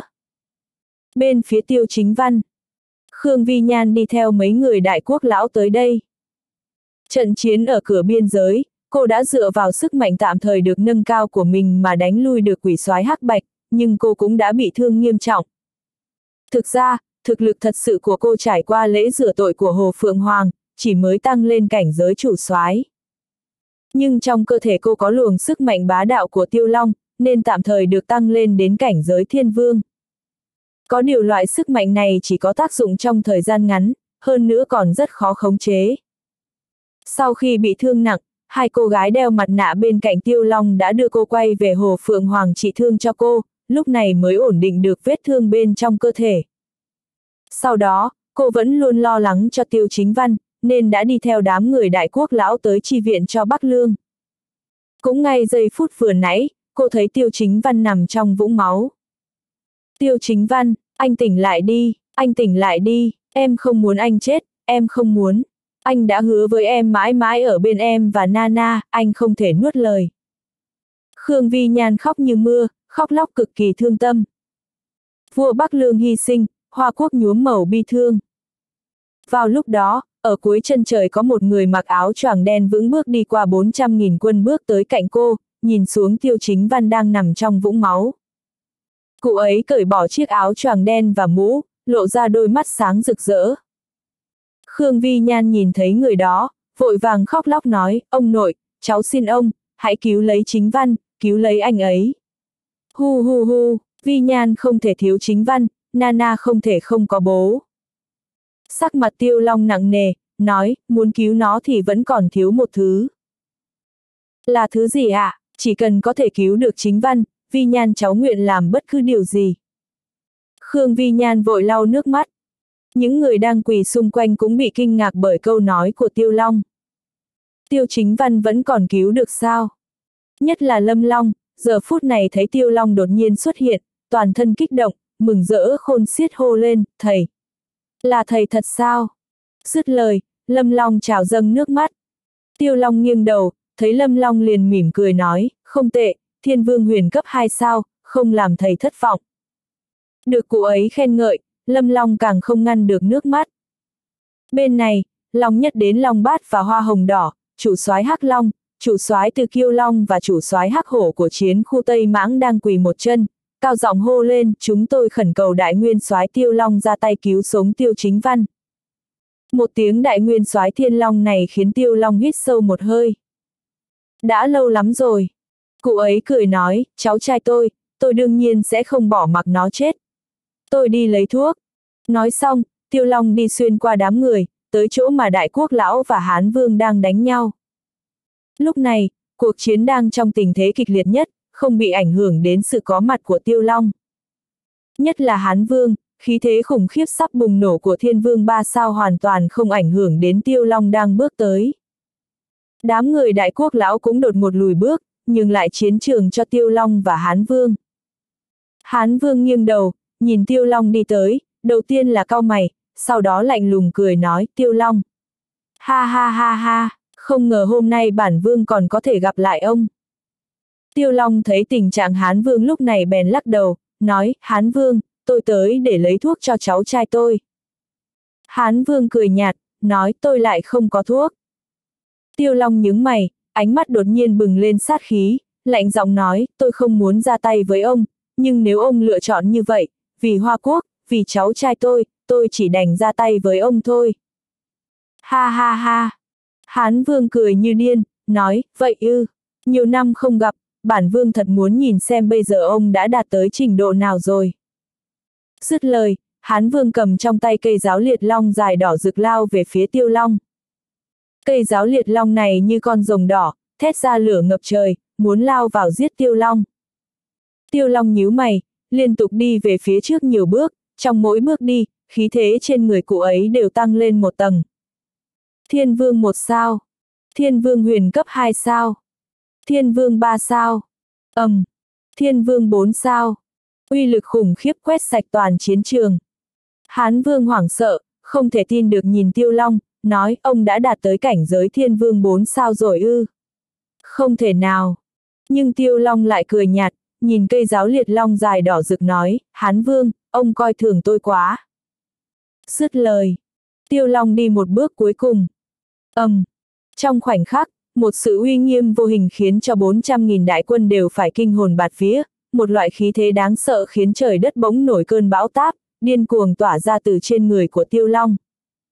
Chỉ một luồng sức mạnh của khí thế kia cũng đủ để đánh bật cả 400.000 đại quân. Sấm sét đùng đùng xé toạc bầu trời. Mây đen cuồn cuộn tựa như vòi rồng. Thiên, thiên thần, ông lại có thể đột phá đến cảnh giới trong truyền thuyết. Hai con mắt của Hán Vương lúc bấy giờ như sắp rơi ra. Thiên thần. Vượt qua cảnh giới thiên vương chính là thiên thần trong truyền thuyết. Thiên thần chính là thần thánh nhân gian. Chỉ hai chữ thiên và thần thôi cũng đủ để thấy sự đáng sợ của cảnh giới thiên thần. Ngay giây sau đó, Tiêu Long đã đi đến trước mặt Hán Vương. Cụ ấy vung nhẹ tay, một ngón tay đặt vào mũi cây giáo liệt long đỏ rực. Khoảnh khắc đó, luồng khí màu vàng bất ngờ tuôn ra từ đầu ngón tay của Tiêu Long, như quả pháo nổ xuyên thấu cây giáo, rồi xuyên qua cánh tay phải của Hán Vương, bao trùm cả người cụ ta. Trong chớp mắt, đôi mắt hán vương chỉ nhìn thấy luồng khí màu vàng minh mông vô tận. Cụ ta trơ mắt nhìn cánh tay phải của mình, từng chút từng chút một nứt toát ra, hóa thành xương mù đẫm máu, tiếp theo, ngay cả người cụ ta cũng bị nổ thành xương mù máu. Trong nháy mắt, đất trời trở lại sự trong sạch vốn có. Trên bầu trời, mưa rơi như thác đổ. Dưới đất be bét máu, còn có chiếc hoàng bào biến thành cho bụi. Hán Vương Thiên Vương cấp 3 sao cứ thế mà hóa thành cho bụi bởi một chiêu của Tiêu Long. Tiêu Long đặt một tay sau lưng, nhìn máu nhuốm đầy mặt đất, than thở rồi nhặt cây giáo dài liệt long đỏ rực lên. Lúc ấy, cây giáo liệt long đỏ rực biến thành một viên ngọc màu đỏ tựa như trái tim màu hồng ngọc, xung quanh còn có ba con rồng màu đỏ thẫm bay lượn, vờn quanh không ngừng. Tim rồng màu đỏ. Tiêu Long thốt lên bốn chữ, nói tiếp, có nó thì chính văn mới có thể sống chương 993, sau trận chiến. Nửa tháng sau, cuộc đại thắng của Hoa Quốc đã qua được nửa tháng. Các nước xâm lược Hoa Quốc đều bại trận trở về. Sau chiến sự, Hoa Quốc chính thức thông báo với thế giới tăng thêm các điều khoản bồi thường của các nước xâm lược Hoa Quốc và họ phải gửi lời xin lỗi đến Hoa Quốc. Cuộc chiến này đã làm Hoa Quốc dạng danh. Hiệp hội cấp cao 9 nước và đội quân liên hợp 1 triệu người của các nước khác cũng thương vong hơn 700.000 người trong cuộc chiến này. 200.000 người đầu hàng. 100.000 người bị bắt. Tổng số thương vong của năm chiến khu lớn ở Hoa Quốc là 200.000 người. Trong đó chiến khu Bắc Lương là chiến khu chịu nhiều thương vong nhất. 50.000 quân phá long của Bắc Lương đều hy sinh trong trận chiến ở cửa Hắc Phong. Đồng thời đây cũng là cuộc chiến tranh gây chấn động nhất trong lịch sử chiến tranh quân sự hiện đại trong vòng 100 năm trở lại đây. Hoa quốc bị thương vong 200.000 binh sĩ, đổi lại liên quân các nước bị tổn hại đến 700.000 binh sĩ. Cuộc chiến này đã tạo nên tên tuổi, làm dạng danh Hoa quốc trên trường quốc tế. Cuộc chiến này cũng khiến Hiệp hội cấp cao chín nước đứng đầu là Mễ quốc không còn đánh giá thấp Hoa quốc được nữa. Cũng trong cuộc chiến này, quốc lão Hoa quốc và trưởng lão Tông Miếu Võ Tông giết được 12 cường giả thiên vương đến xâm lược. Hơn nữa mấy người tiêu chính văn cũng giết được 21 cường giả thiên vương ngoài lãnh thổ. Càng nhiều hơn là cường giả cảnh giới chủ soái và cường giả chiến thần. Cuộc chiến này vô cùng tàn khốc và đau thương. Đồng thời trong Hoa Quốc và trên thế giới có tin đồn là chủ soái chiến khu Bắc Lương người mạnh nhất Hoa Quốc, Tiêu Chính Văn đã hy sinh tại chiến trường. Hoa Hạ còn tổ chức lễ truy điệu theo nghi thức quốc gia, phong cho Tiêu Chính Văn là phong lang cư tư. Truy phong 60.000 binh sĩ quân phá Long bị thương vong là sư đoàn bất bại trong việc bảo vệ đất nước, hơn nữa còn xây dựng một tấm bia đá không chữ ở Bắc Lương. Ngày thứ bảy sau khi chiến tranh kết thúc, thiên tử dẫn theo các quan chức đến Bắc Lương đích thân đặt nền móng cho tấm bia không chữ này, tỏ lòng thành kính, tưởng nhớ các chiến sĩ hy sinh vì đất nước và phát biểu một bài gây chấn động nhất trước tấm bia này. Lúc này trong biệt thự ở Giang Trung, Khương Vi Nhan bưng một bát thuốc đông y từ phòng bếp ra ngoài phòng khách. Cô nhìn Tiêu Chính Văn đang ngồi trên ghế dựa nhắm mắt phơi nắng, nhẹ giọng cười nói, chồng ơi, đến giờ uống thuốc rồi.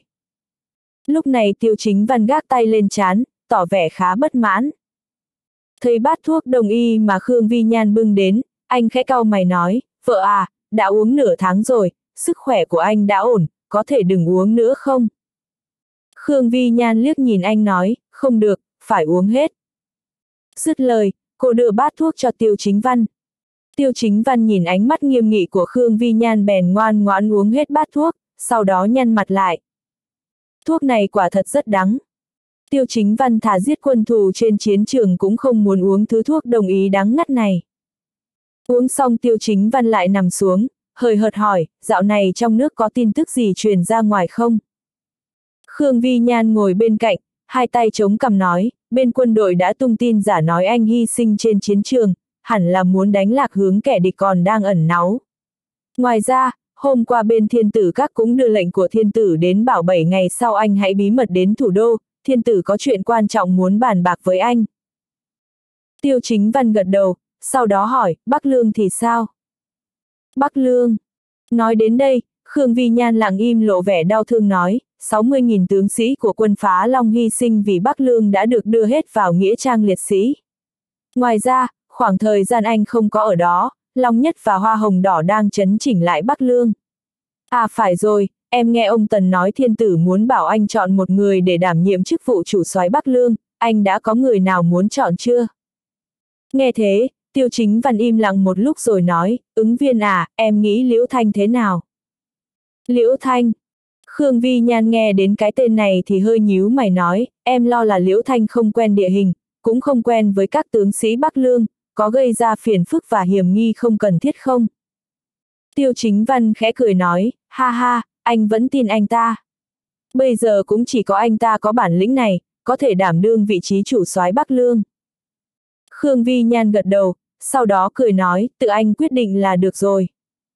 Tiêu chính văn khẽ cười cũng không tiếp tục suy nghĩ đến chuyện này nữa. Sau đó anh ngẩng đầu lên nhìn trời, trời xanh mây trắng nhẹ nhàng trôi. Khoan khoái thoải mái, cảm giác chân thật này khiến tiêu chính văn hơi bùi mùi. Đột nhiên, sắc mặt tiêu chính văn trắng bệch, chán ướt đẫm mồ hôi, giơ tay lên ôm ngực mình. Nơi đó, tim đập nhanh quá mức cứ như muốn nhảy ra khỏi lồng ngực. Mặt tiêu chính văn dần đỏ ửng, khí huyết dâng trào, ngay giữa ngực cũng có đốm sáng màu đỏ yếu ớt liên tục phát sáng. Khương Vi Nhan ở một bên thấy vậy cũng trở lên lo lắng nói, chồng sao thế? Lại đau nữa rồi sao? Nói xong, đôi tay cô nắm chặt thấy bàn tay to lớn của Tiêu Chính Văn. Tiêu Chính Văn vất vả chịu đựng lực xung kích kịch liệt này. Cơn đau kéo dài vài phút mới dần bình ổn lại. Sau đó anh hít sâu vào, quần áo đã ướt đẫm mồ hôi. Chồng à, thế nào rồi, ổn hơn chút nào chưa? Khương Vi Nhan cực kỳ lo lắng. Tiêu chính văn nghiêng đầu xoa đầu cô, yếu ớt nói, anh không sao, anh đi tắm trước. Khương Vi Nhan gật đầu nhìn bóng lưng tiêu chính văn. Nửa tháng nay, mỗi ngày tình trạng này cứ xuất hiện một lần. Theo như ông nội nói lúc đó thì đây là quá trình tiêu chính văn thích ứng với quả tim rồng màu đỏ, không còn cách nào khác, chỉ có thể chịu đựng. Lúc này tiêu chính văn đứng trong phòng tắm mặc cho nước ấm rội lên người. Anh cúi đầu nhìn dáng người cường tráng nhưng đầy vết sẹo. Anh nhẹ nhàng xoa ngực, nơi đó có vài vết sẹo và mấy đường mạch máu màu đỏ. Giữa ngực anh có ánh sáng màu đỏ yếu ớt liên tục phát sáng. Sau đó dần dần lắng xuống. Mạch máu màu đỏ đó cũng dần biến mất khôi phục lại trạng thái bình thường, chỉ để lại những vết sẹo đáng sợ. Phù. Tiêu chính văn thở phào, tắm xong anh lại quay trở lại phòng khách. Lúc này Khương Vi Nhan đã thay xong một chiếc váy xẻ lưng rất sexy, nói với Tiêu Chính Văn đang đi đến phòng khách, chồng ơi, tối nay em tham gia một bữa tiệc tư nhân, anh muốn đi cùng không? Tiêu Chính Văn cầm khăn lau mái tóc ẩm ướt, cởi trần thân trên vạm vỡ ôm Khương Vi Nhan từ phía sau, vùi đầu vào cần cổ mềm mại của cô nói tất nhiên là phải đi rồi. Khương Vi Nhan nở nụ cười thật dịu dàng, khẽ tựa vào đầu Tiêu Chính Văn nói, thế anh mau đi thay đồ đi. Dứt lời, cô đẩy Tiêu Chính Văn vào thay một bộ đồ vest. Sau đó hai người lên xe ra khỏi biệt thự. Trên đường đến, Khương Vi Nhan cũng giải thích bữa tiệc tư nhân vào tối nay cho Tiêu Chính Văn. Bữa tiệc này do vài gia chủ các gia tộc và chủ tịch các công ty tập đoàn lớn có danh tiếng hợp tác với nhau tổ chức. Nghe nói là vì đón tiếp một người đại diện của tập đoàn y dược ở nước ngoài. Người đại diện tập đoàn y dược nước ngoài này sẽ tiến hành khảo sát và đầu tư vào Giang Trung. Thế nên đây là chuyện tốt với giới y dược Giang Trung. Tập đoàn Vi Nhan đang là tập đoàn chiếm phần lớn thị trường hiện nay ở giới y dược Giang Trung nên Khương Vi Nhan buộc phải có mặt chương 994, khách mời thần bí. Không lâu sau, Tiêu Chính Văn và Khương Vi Nhan tới buổi tiệc được tổ chức ở khách sạn. Thực hiện các thủ tục thường lệ để bước vào trong. Lúc này, đã có rất nhiều người đang ăn uống linh đình trong sảnh lớn của khách sạn. Thấy Khương Vi Nhan xuất hiện, nhiều người cũng tiến lên chúc rượu. Một lúc sau, người chủ trì tiệc rượu cũng chính là một đại diện tiếng tăm lừng lẫy của ngành y dược Giang Trung ông Tào Khánh Đức bước lên sân khấu. Tào Khánh Đức là nhân vật trọng yếu của giới y dược Giang Trung, đã từng là viện sĩ của Viện Hàn Lâm Khoa học, một đời cống hiến cho sự phát triển của ngành y dược Giang Trung, là viện sĩ mà ai cũng tôn kính, là một người cương trực công chính, nho nhã và phóng khoáng. Vì thế, có thể mời được ông ta tới làm chủ trì của tiệc rượu cũng mất rất nhiều công sức. Dẫu sao thì buổi tiệc tối nay có liên quan tới sự phát triển của ngành y dược Giang Trung trong tương lai. Tào Khánh Đức vừa lên sân khấu, những người ở dưới bắt đầu vây lại, bọn họ nói tối nay sẽ có một vị khách quý của tập đoàn y dược nước ngoài tới, đã có rất nhiều người suy đoán đối phương là ai.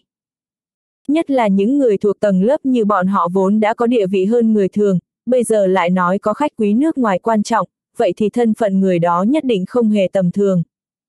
Tào Khánh Đức đỡ micro, nói đoạn mở đầu khá hài hước, mặc dù đã gần 70 tuổi nhưng tinh thần vẫn rất sung mãn, hoàn toàn không nhìn ra dáng vẻ già nua. Các vị khách quý, hôm nay mọi người đều biết còn có một vị khách quý nước ngoài khác cực kỳ quan trọng tới đây, thực ra cô ấy không thuộc tầng lớp của chúng ta, nhưng chỉ cần nhắc đến tên của cô ấy, tôi nghĩ các vị đang ngồi đây đều biết. Tiêu chính văn ở dưới nghe, cười khẽ nói, thần bí ghê.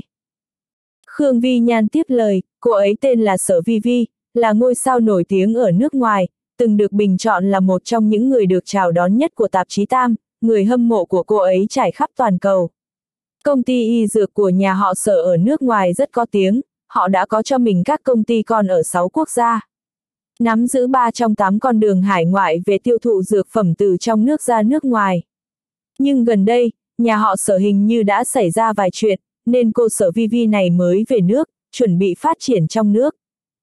Người khác có lẽ chỉ biết cô ấy là ngôi sao nổi tiếng, lại không biết bối cảnh sau lưng cô ấy đáng sợ thế nào đâu, Khương Vi Nhan nói. Sở vi vi. Sao tên này nghe quen thế nhỉ? Tiêu chính văn vừa nghe liền nhíu mày, toàn thân run lên. Anh ngơ ngác nhìn Khương Vi Nhan, cảm thấy hơi bất ngờ. Em chắc chắn vị khách quý thần bí tối nay tên là Sở Vi Vi chứ? Tiêu chính văn ngạc nhiên hỏi, nếu không phải anh nghĩ nhiều, chỉ có thể hy vọng là trùng tên. Đúng thế, sao vậy, anh cũng là người hâm mộ của cô ấy à? Khương Vi Nhan nhìn Tiêu Chính Văn, khóe mắt lộ ra ý trêu chọc. Sở Vi Vi là ngôi sao lớn nổi tiếng thế giới, mặc dù vẫn luôn phát triển ở nước ngoài, nhưng gần đây vừa về nước cô ta đã được giới truyền thông tranh nhau viết bài, có thể nói cô ta cũng rất nổi tiếng trong giới giải trí của nước nhà. Thật sự là cô ấy à? Sẽ không trùng hợp đến thế chứ? Tiêu chính văn lắp bắp nói. Không phải chứ, chồng à, anh không biết sở vi vi ư. Khương Vi Nhan ngạc nhiên phát hiện, hóa ra có người không biết sở vi vi là ai. Cô vội lấy điện thoại, mở tài khoản mạng xã hội của sở vi vi ra, sau đó chọn một tấm ảnh rồi đưa cho tiêu chính văn xem, đây này, là cô ấy, anh thật sự không biết sao. Tiêu chính văn đúng là không biết sở vi vi, anh không theo đuổi thần tượng nên rất ít khi xem tin tức về giới giải trí. Nhìn điện thoại mà Khương Vi Nhan đưa tới, anh mở lớn hai mắt, cảm giác như sét đánh ngang tai. Đúng là cô ấy. Tiêu chính văn cảm thấy đau đầu, không ngờ con bé này lại lớn như vậy, hơn nữa còn xinh đẹp yêu kiều đến thế. Nhớ khi xưa anh còn là một sĩ quan cao cấp ở Bắc Lương, từng làm một nhiệm vụ tới đế quốc đại linh cứu một cô gái nhà giàu có bị đám lính đánh thuê nước ngoài bắt cóc. Mà cô gái nhà giàu này lại chính là sở vi vi trước mắt. Mặc dù lúc đó cô ta mới 18, đã nhiều năm trôi qua nhưng tiêu chính văn vừa liếc mắt là nhận ra cô ta ngay. Anh còn nhớ sở vi vi lúc đó có thể nói là đang ở độ tuổi cực kỳ ương bướng. Trong quá trình giải cứu đã thường xuyên đối chọi với anh. Anh thật sự không biết cô ấy à, Khương Vi Nhan hỏi. Thấy vẻ mặt đau khổ của Tiêu Chính Văn, cô liền cảm thấy buồn cười. Tiêu Chính Văn cắn răng nói, không biết, anh chưa từng xem tin tức trong giới giải trí, ngay cả ngôi sao trong nước còn không biết mấy người. Em cũng nói cô ấy đã ở nước ngoài từ lâu, vậy anh càng không thể biết. Trên sân khấu, Tào Khánh Đức mỉm cười dạng dỡ nói, các vị, vị khách quý rất quan trọng này vừa trở về từ nước ngoài, lần này tham dự bữa tiệc tối nay sẽ mang tới sự ảnh hưởng rất lớn cho ngành y dược của Giang Trung. Bởi vì, trước khi cô ấy đến đây đã từng hứa rằng, sẽ đầu tư 50 tỷ tệ cho sự phát triển của ngành y dược Giang Trung. Xôn xao. Tào Khánh Đức vừa dứt lời, cả sảnh lớn của buổi tiệc bỗng sôi nổi hẳn lên. Đầu tư 50 tỷ tệ cho sự phát triển của ngành y dược Giang Trung ư. Quả là chưa từng nghe, người này cũng hào phóng quá nhỉ. Cô gái này rốt cuộc là ai, mà lại có thực lực về tiền tài hùng hậu như vậy. Nực cười, đầu tư 50 tỷ tệ cho sự phát triển của ngành y dược Giang Trung, vậy chẳng phải đây là dự án cao cấp nhất của Giang Trung rồi sao? Đầu tư 50 tỷ tệ, không biết sẽ có bao nhiêu ông lớn đi nịnh bợ đây. Quả bom nặng ký này của Tào Khánh Đức có thể nói đã hoàn toàn mở rộng cánh cửa của ngành y dược Giang Trung, cũng đã mang lại dòng máu mới cho Giang Trung. Mọi người hãy yên lặng, tôi còn muốn nói cho mọi người biết, số tiền đầu tư 50 tỷ tệ này cũng chỉ là việc đầu tiên mà vị khách quý đưa đến cho Giang Trung vào tối nay, tiếp theo vẫn còn đầu tư đợt 2 và số tiền sẽ không ngừng tăng lên. Đây, mới là dự án đợt đầu thôi á. Ảo diệu quá, rốt cuộc là ai mà nhiều tiền vậy? Anh không thấy bảo là người từ nước ngoài vừa trở về à, có lẽ là tập đoàn tài chính ở Mỹ Quốc. Giàu quá, tôi thật hy vọng sớm được gặp vị khách quý thần bí đó. Tiêu chính văn khẽ lẩm bẩm, con nhóc này định làm gì đây? Tào Khánh Đức đứng trên sân khấu, thấy phản ứng của mọi người bên dưới cũng hài lòng cười nói, các vị, có điều tôi phải nhắc nhở trước, vị khách quý thần bí này chưa xác định chắc chắn đối tượng hợp tác là ai, vì vậy mà mọi người hoàn toàn có thể cạnh tranh công bằng, điều này phải xem thực lực của các vị thế nào. Tào Khánh Đức nói xong, bầu không khí của bữa tiệc bị đẩy lên đỉnh điểm. Số tiền đầu tư 50 tỷ tệ, còn chưa quyết định đối tác cuối cùng, hoặc là nói bọn họ đều có cơ hội. 50 tỷ tệ là khoản tiền lớn thế nào? Số tiền này mà về tay thì lợi nhuận của khoản đầu tư này sẽ tăng lên vài lần, thậm chí hàng chục lần so với số tiền vốn. Con số khủng khiếp như vậy tựa như cô gái bị lột đồ sạch sẽ, còn bọn họ thì như thể con sói đói đang trực chờ không tha. Ánh mắt bọn họ rực cháy, nhìn chằm chằm cánh cửa của sảnh lớn, không tha cho bất cứ khoảnh khắc nào.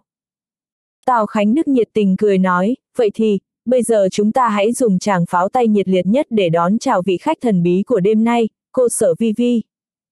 Dứt lời, cánh cửa sảnh lớn xuất hiện ánh đèn chói lóa. Tám người đàn ông mặc vest trắng xếp thành hai hàng, nối đuôi nhau đi vào, ai nấy đều hiên ngang mạnh mẽ, ánh mắt lại cực kỳ cảnh giác. Tám người đàn ông này đều to cao và lạnh lùng, vừa nhìn là biết vệ sĩ đã được huấn luyện bài bản. Sau khi tám người đàn ông này đi vào, dưới ánh sáng của đèn tụ quang trước cửa sảnh lớn xuất hiện một cô gái hiểu điệu quyến rũ. Mái tóc màu nâu hạt rẻ được búi cao sau đầu, để lộ chiếc cổ trắng ngần như thiên nga, đôi mắt nâu lấp lánh ánh nước sâu thẳm, chiếc váy dạ hội màu đỏ thướt tha ôm lấy vóc dáng yêu kiều gợi cảm của cô ta, vóc dáng gần như tuyệt mỹ với cơ thể có tỷ lệ vàng, hệt như một ngôi sao sáng nhất trong màn đêm. chương 995, quả tim rồng. Quả nhiên là sở vi vi. Tất cả mọi người dưới khán đài đều không thể kìm được niềm vui sướng trong lòng. Đó là một siêu sao quốc tế, chỉ mới 22 tuổi đã nổi tiếng đến mức khiến nhiều người phải ngước nhìn. Sở Vi Vi được biết đến với cái tên tiểu Britney Spears, có thể nói cô ta là con cưng của cả thế giới. Cô ta trở thành ngôi sao nhí khi mới 7 tuổi, con đường sự nghiệp sau đó cũng hết sức suôn sẻ. Sau khi trưởng thành, cô ta từng xuất hiện trên trang bìa của tạp chí Tham và trở thành ngôi sao nữ được yêu thích nhất. Hơn nữa, chỉ cần quan tâm và muốn điều tra, sẽ dễ dàng biết được thế lực đằng sau sở vi vi là đến từ nhà họ sở ở Long Kinh. Nhà họ sở là một gia tộc thượng đẳng, là sự tồn tại hàng đầu. Có thể nói, đó là gia tộc đứng đầu trong ba gia tộc lớn, chỉ xếp dưới bốn gia tộc lánh đời của Hoa Quốc. Hơn nữa, phía sau nhà họ sở còn có bóng dáng của Dược Vương Cốc. Ngay khi sở vi vi xuất hiện trong đại sảnh, cô ta lập tức thu hút mọi ánh mắt của tất cả những người đang có mặt. Đẹp quá! Đây gần như là đánh giá đầu tiên về sở vi vi trong lòng tất cả mọi người. Ngay cả Khương Vi Nhan lúc này cũng thật lòng khen ngợi, thật sự rất xinh đẹp. Nhan sắc và vóc dáng của sở vi vi không hề thua kém Khương Vi Nhan. Nói cách khác, đêm nay sẽ có hai ngôi sao, chỉ là Khương Vi Nhan hơi kém hơn so với sở vi vi một chút. Dù sao thì vừa nãy Tào Khánh Đức đã nâng sở vi vi lên một cấp độ rất cao. Tuy nhiên, phản ứng của tiêu chính văn hoàn toàn khác với mọi người, anh chỉ đứng trong góc rồi lắc đầu thở dài một cách bất lực. Lúc này Khương Vi Nhan đứng ở bên cạnh dùng cánh tay thúc vào eo của anh, cô cười hớn hở rồi thấp giọng nói, chồng à, anh thật sự không biết sở vi vi sao? Ừ, anh không biết, trong mắt anh, em mới là ngôi sao của anh, tiêu chính văn mỉm cười nói. Khương Vi Nhan lườm anh với vẻ hờn dỗi, rồi nói, anh đúng là miệng lưỡi ngọt hơn kẹo. Tuy nhiên, trong lòng cô lại rất vui. Đúng lúc này, sở vi vi bước lên sân khấu, cô ta đứng trước micro, ánh mắt quét qua tất cả mọi người dưới khán đài một lượt. Tuy nhiên, ánh mắt cô ta nhanh chóng dừng lại trên người tiêu chính văn đang đứng ở trong góc một lúc. Trước ánh mắt mong đợi của mọi người, đôi môi đỏ mỏng của sở vi vi khẽ mở. Chào mọi người. Sở vi vi mỉm cười rồi nói, tôi du học ở nước ngoài từ rất lâu, vẫn luôn muốn về nước để phát triển sự nghiệp. Hôm nay tôi rất vinh dự có thể tham gia buổi tiệc này. Những chàng pháo tay vang lên như sấm. Thực ra tôi vẫn còn rất lạ lẫm với ngành y dược, rất mong được mọi người có mặt ở đây chỉ bảo cho tôi nhiều hơn. Sau này, tôi hy vọng sẽ được mọi người quan tâm giúp đỡ. Sở Vi Vi nói, khuôn mặt vẫn mang theo nụ cười như gió xuân lướt qua gò má của tất cả mọi người. Hãy cạn ly vì sự hợp tác và tình hữu nghị của chúng ta. Tay sở Vi Vi đang cầm ly rượu vang đỏ, cô ta vừa nói vừa cười híp mắt. Nụ cười này đã khiến hầu hết đàn ông dưới khán đài đều say đắm. Sở Vi Vi nói xong liền bước xuống khỏi sân khấu. Có rất nhiều người chen lấn lên phía trước để được nhìn sở Vi Vi rõ hơn, hoặc muốn nhân cơ hội để kết thân. Dù gì thì đây cũng là siêu sao quốc tế sở Vi Vi, mỗi một hợp đồng quảng cáo của cô ta đều có giá cao ngất trời. Hơn nữa, đêm nay cô ta còn là đại gia 50 tỷ tệ, nếu bắt tay hợp tác với cô ta thì việc phát triển công việc kinh doanh của công ty ra nước ngoài là quá dễ dàng. Tuy nhiên, sở vi vi không ở lại lâu hơn, cô ta chỉ gật đầu và mỉm cười với họ thay cho lời chào hỏi mà thôi. Khương Vi Nhan và Tiêu Chính Văn có vẻ như không hòa vào đám đông xung quanh. Hai người đứng trong góc vừa nói vừa cười, cùng nhấm nháp rượu vang.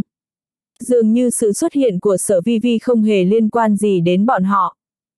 Tuy nhiên, sở vi vi lại bước đến trước mặt Khương Vi Nhan. Hai đóa hoa vàng rực rỡ nhất bữa tiệc đã đứng cùng một chỗ.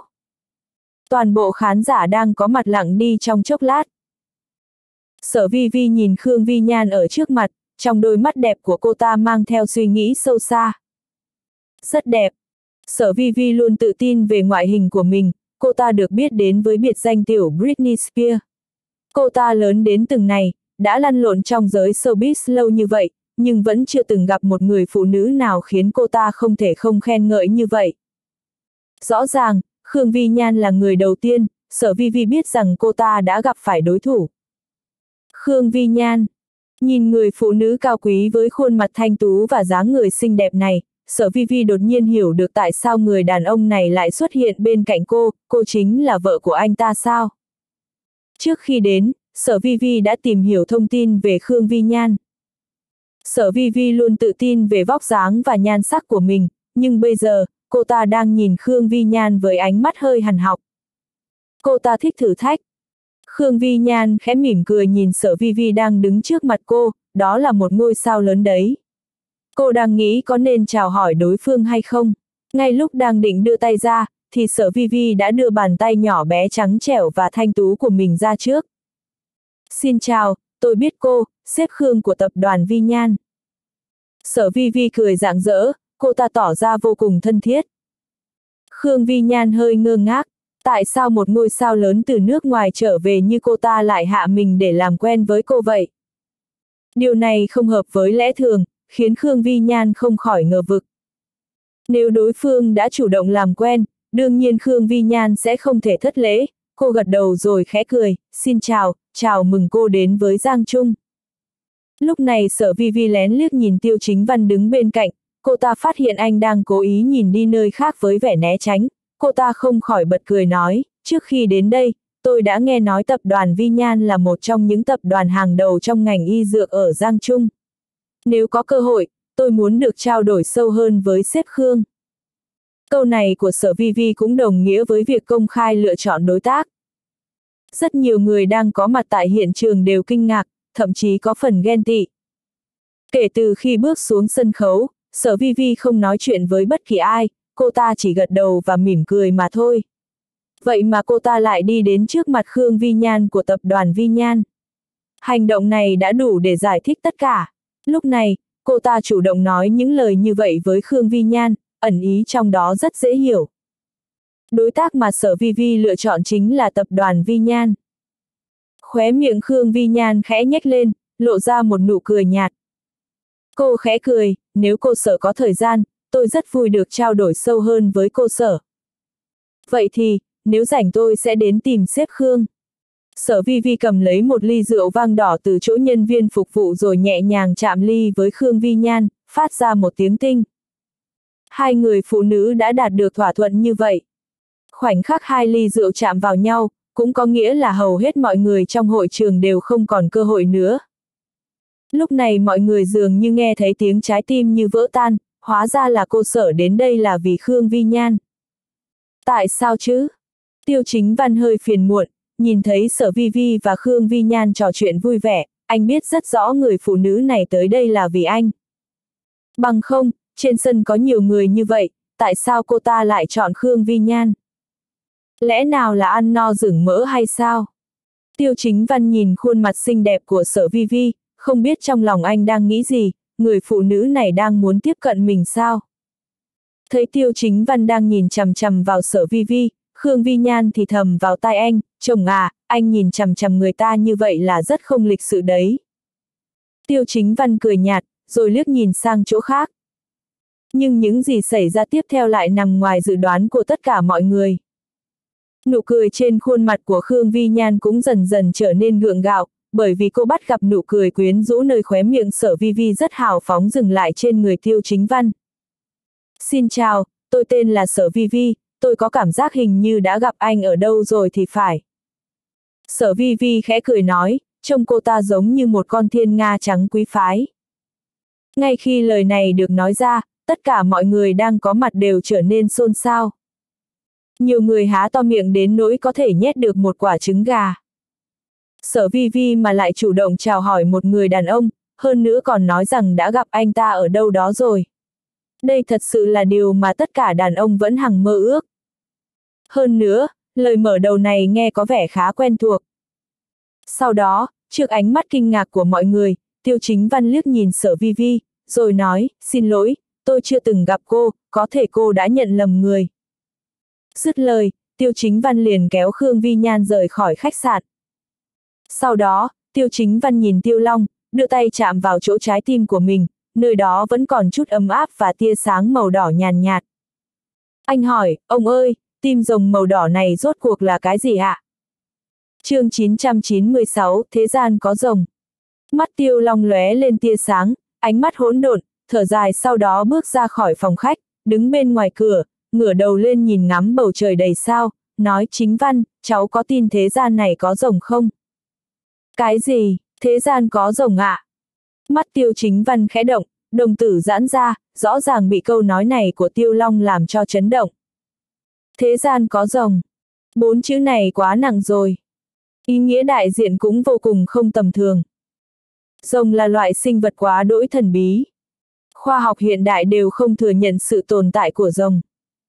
Mặc dù dân gian có rất nhiều tin đồn, cũng có không ít người nói từng nhìn thấy rồng, thế nhưng cuối cùng cũng chìm vào dĩ vãng. Suy cho cùng, loại sinh vật này cũng quá thần bí, quá kỳ ảo, một khi chứng minh được sự tồn tại của nó thì thậm chí có thể lật đổ rất nhiều quy tắc và nhận thức của hiện tại. Thế nhưng lúc này, câu nói của Tiêu Long lại mang tới cho Tiêu Chính Văn suy đoán không giống vậy. Ông nội, thế gian thật sự có rồng sao? Tiêu Chính Văn nghiêm túc hỏi. Tiêu Long thu ánh mắt lại, chuyển sang nhìn Tiêu Chính Văn, gật đầu nói có. Dầm dầm. Chỉ một chữ ngắn ngủi thôi cũng khiến cho Tiêu Chính Văn cảm thấy vô cùng chấn động. Anh không cho rằng ông nội đang đùa với mình. Từng tham gia đủ các chiến trường, từng gặp đủ loại nhân vật, Tiêu Chính Văn sớm đã tin rằng thế giới này không phải là nơi mà người bình thường có thể tưởng tượng nổi. Chỉ riêng chiến trường ngoài lãnh thổ cũng đủ để phá vỡ rất nhiều định luật và nguyên tắc. Hít sâu vào một hơi, ánh mắt của Tiêu Chính Văn nhìn chăm chăm về phía Tiêu Long, xoa vị trí ngực mình, hỏi ông nội, nơi này của cháu là tim rồng sao? Tiêu Long gật đầu, nói, không sai, là tim rồng. Tiêu Chính Văn lại hít vào một hơi khí lạnh, nghiêm túc nhìn về phía ngực mình, nơi đó ẩn hiện ánh sáng màu đỏ, giống như còn đang chứa đựng một loại sức mạnh cực lớn nào đó. Thế nhưng tiêu chính văn lại không có cách nào khống chế được sức mạnh này. Ông nội, cháu muốn biết tất cả, tiêu chính văn nghiêm túc nói. Tiêu Long nhìn về phía tiêu chính văn, vỗ lên vai anh, nói, được, để ông nội nói cho cháu. Tiếp đó, tiêu Long liền sải bước, ánh mắt xuyên qua bầu trời đêm bất tận nhìn về phía những ngôi sao, nói thế gian có rồng, loài sinh vật như rồng thực sự có tồn tại, thế nhưng lại cực kỳ hiếm. Có thể nói rằng trong thế giới ngày nay, rồng gần như đã tuyệt chủng rồi. Tuy nhiên vào rất lâu trước đây, những truyền thuyết hay ghi chép có liên quan tới rồng lại rất nhiều. Chỉ có điều bởi vì tính đặc thù của loài sinh vật như rồng, ý nghĩa đại diện không giống nhau, vậy nên rất nhiều ghi chép, dù là chính sử hay giã sử đều chỉ viết vài ba câu, không hề giới thiệu cặn kẽ. Dù gì số người có thể gặp được loài sinh vật như rồng cũng rất ít. Vậy nên thông qua truyền miệng thì cũng khó tránh khỏi việc bị người ta thêm thắt miêu tả, từ đó cũng hình thành nên loài rồng thần bí trong truyền thuyết. Tiêu chính văn lặng lẽ lắng nghe, tất cả những gì ông nội nói quả thực không sai. Quả thực trong lịch sử có rất nhiều ghi chép liên quan đến sự xuất hiện của loài rồng, thế nhưng đều rất phức tạp và khó thuyết phục người khác.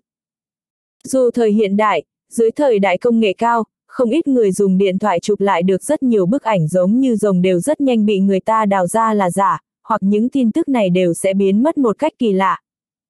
Tiêu chính văn lên tiếng, rồng là một loài sinh vật thần bí, bởi vì hiếm gặp, hình thể to lớn, hộ phong hoán vũ nên trong lòng người dân đã hình thành nên sự tồn tại thần thánh đặc biệt. Tiêu chính văn, cháu biết thế gian bây giờ vẫn có rồng không? Tiêu chính văn cao mày, lắc đầu nói, ông nội, cháu không biết. Tiêu Long trầm mặc, lát sau mới nói có. Dầm. Câu nói này của Tiêu Long khiến cho Tiêu Chính Văn vô cùng chấn động. Sau đó, Tiêu Long tiếp tục nói, thời cổ có 5 con rồng, chính là tổ tiên của Long tộc. Trái tim rồng trong ngực cháu là trái tim của xích long trong số 5 con rồng cổ, chính là kỳ dược hàng đầu thế gian. Dù là người sắp chết, có trái tim rồng này cũng có thể sống lại được. Năm con rồng cổ, xích long. Tiêu chính văn cao mày, xoa ngực, cảm thấy một lực xung kích không hiểu ra làm sao. Tiêu long gật đầu, nói, xích long, chủ yếu sát phạt và trị liệu. Hắc long, chủ chiến. Bạch long, chủ sinh và tử. Kim long, chủ trận pháp. Ngân long, chủ binh. Đây chính là năm con rồng thời cổ. Tiêu long nói, ánh mắt phức tạp. Tiêu chính văn nghe xong thì trong lòng vô cùng chấn động. Năm con rồng, long tộc. Vậy năm con rồng này, tiêu chính văn hỏi lại. Tiêu long lắc đầu nói, sớm đã biến mất trong dòng chảy lịch sử rồi. Trái tim rồng xích long trong cơ thể cháu cũng là dưới cơ duyên trùng hợp mới được Hán Vương giành lấy. Bốn trái tim rồng còn lại hiện phân tán ở khắp nơi trên thế giới, bị cường giả và các thế lực khác nhau giành được, cũng có thể còn chưa được phát hiện ra. Nghe đồn, chỉ có người nào giành được năm trái tim rồng mới có thể tìm được cửa lớn đi tới Long tộc, giải mã được những bí mật có liên quan tới Long tộc đã tồn tại mấy chục nghìn năm. Thậm chí có thể lấy được tiên đơn linh dược trường sinh bất lão và mật pháp tối cao vượt qua đế cảnh. Năm đó, sự trường sinh bất lão mà vua tần vẫn luôn tìm kiếm chính là cửa lớn thông tới Long tộc. Dầm! Câu nói này của Tiêu Long khiến cho Tiêu Chính Văn chấn động. Tiên đơn linh dược trường sinh. Vua tần. Còn cả mật pháp tối cao vượt qua đế cảnh. Đế cảnh. Đế cảnh là gì? Tiêu chính văn nóng lòng hỏi, ông nội, đế cảnh là gì ạ? Tiêu Long nhìn Tiêu chính văn, khẽ cười, nói, mặc dù hiện tại ông nội đang ở cảnh giới thiên thần, nói là vị thần giữa thế gian thì cũng không quá lời. Thế nhưng, trên cảnh giới thiên thần còn có ba cảnh giới vô cùng cường đại. Ba cảnh giới đó chính là cảnh giới tối cao trong truyền thuyết. Cảnh giới gì ạ? Tiêu chính văn hỏi. Tiêu Long trả lời, phía trên cảnh giới thiên thần là cảnh giới nhân vương. Theo như ghi chép hiện có, xưa nay chỉ có 28 tiên hiền đạt tới cảnh giới nhân vương. Bên trên cảnh giới nhân vương là cảnh giới nhân hoàng. Từ xưa tới nay chỉ có 9 người đạt được tới cảnh giới này. Mà người cuối cùng chính là trụ vương vô cùng tàn bạo trong lời kể của nhân dân, không một ai biết đoạn lịch sử thật sự đó rốt cuộc ra làm sao. Thế nhưng có một điểm, ông ta quả thực là nhân hoàng cuối cùng trong thế gian. Mà ở trên cảnh giới nhân hoàng chính là cảnh giới thần bí và tối thượng bậc nhất đế cảnh. Từ xưa tới nay chỉ có ba người đạt được tới cảnh giới này. Một khi tiến vào đế cảnh thì chính là người thống trị thiên hạ, thậm chí có thể làm chuyện nghịch thiên, sánh ngang với trời. Tiêu Long nói xong, ánh sáng trong mắt vô cùng mạnh mẽ. Dường như đế cảnh là cảnh giới mà người nào cũng tưởng tượng tới. Tiêu chính văn nghe vậy thì nhiệt huyết cũng sục sôi, sức mạnh cả người như dâng trào. Đế cảnh. Hóa ra bên trên cảnh giới thiên thần trong truyền thuyết lại còn có ba cảnh giới nữa. Mà ba cảnh giới này mới chỉ nghe tên thôi đã đủ để hiểu rằng vô cùng khó thể đạt tới. Chỉ là cảnh giới nhân vương mà xưa nay cũng chỉ có 28 tiên hiền đạt tới. Tiêu chính văn hít sâu vào một hơi rồi nói, ông nội, muốn tiến vào đế cảnh thì chỉ có cách thông qua mật pháp của long tộc sao. Tiêu long cau mày, sau khi trầm mặc trong chốc lát thì lên tiếng, theo như những tư liệu mà trước mắt ông nội đang nắm giữ, muốn tiến vào đế cảnh thì chỉ có tập hợp đủ 5 trái tim rồng, tìm thấy cửa lớn thông tới long tộc và cả mật pháp. Đây là phương pháp duy nhất trong hiện tại, còn về những cách khác thì ông nội vẫn chưa tìm thấy. Nói xong, Tiêu Long khẽ cười, nhìn Tiêu Chính Văn nói, cháu trai ngoan, đừng nghĩ nhiều như vậy nữa, đối với ông mà nói thì đế cảnh quá mù mờ. Cả thế gian hiện tại đều không có người nào đạt mức đế cảnh, thậm chí cảnh giới nhân hoàng cũng không tồn tại nữa. Vậy cảnh giới nhân vương thì sao? Có còn người không? Tiêu chính văn hỏi. Sắc mặt tiêu long trầm xuống, quay người chắp tay sau lưng, nhìn lên bầu trời rồi nói, cảnh giới nhân vương, ông nội từng cảm nhận được hai luồng hơi thở mạnh hơn ông. Thế nhưng có phải cảnh giới nhân vương hay không thì ông cũng không rõ nữa. Bởi vì ông chỉ đối đầu với bọn họ một lần, lại không sử dụng toàn lực. Bọn họ dường như cũng không muốn phát sinh tranh đấu với ông. chương 997, Thiên thần thiên cấp 4 sao. Nghe nói thế, tiêu chính văn không khỏi hít sâu một hơi. Rốt cuộc ông nội mạnh đến mức nào? Đứng trước hai cường giả có khả năng là cảnh giới nhân vương mà lại dám đánh trực diện với đòn tấn công của người ta, còn khiến người ta bị đánh lùi về sau. Chuyện lúc nào thế ạ? Tiêu chính văn hỏi. Tiêu Long nói, vào ngày ông đi cứu cháu trong trận chiến ở Bắc Lương, nếu ông đoán không lầm thì hai cường giả đó hẳn là muốn đến chỗ trái tim rồng xích long trong tay Hán Vương. Nghe thế tiêu chính văn rơi vào trầm tư. Là vì trái tim rồng xích long sao? Thế chẳng phải là mình đã bị ai đó nhắm đến. Thấy sắc mặt tiêu chính văn trở nên u ám, tiêu long cười khẽ vỗ vai anh nói, cháu đừng lo, có ông nội ở đây không ai dám động tay động chân với cháu đâu. Thế giới này có pháp quy của nó. Cường giả cảnh giới thiên thần đã rất ít khi can thiệp vào việc thế đời rồi, chứ đừng nói gì đến cường giả nhân vương.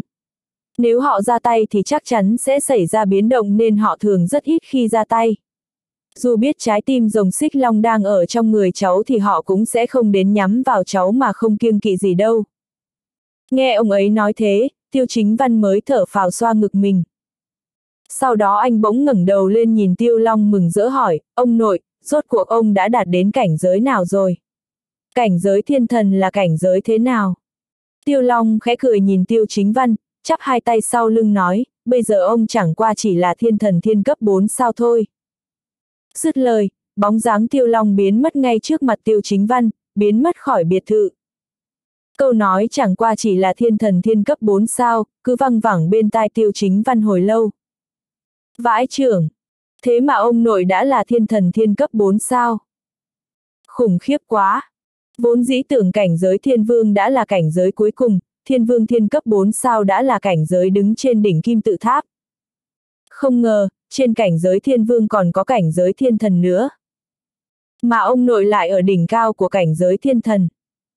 Tiêu chính văn hít sâu, lại cảm thấy thiên vương huyền cấp 2 sao này của mình thật nhỏ bé biết bao. Cùng lúc đó anh cũng cảm nhận được áp lực trước nay chưa từng có. Chắc chắn trái tim rồng xích long sẽ thu hút rất nhiều thế lực bí ẩn tìm đến.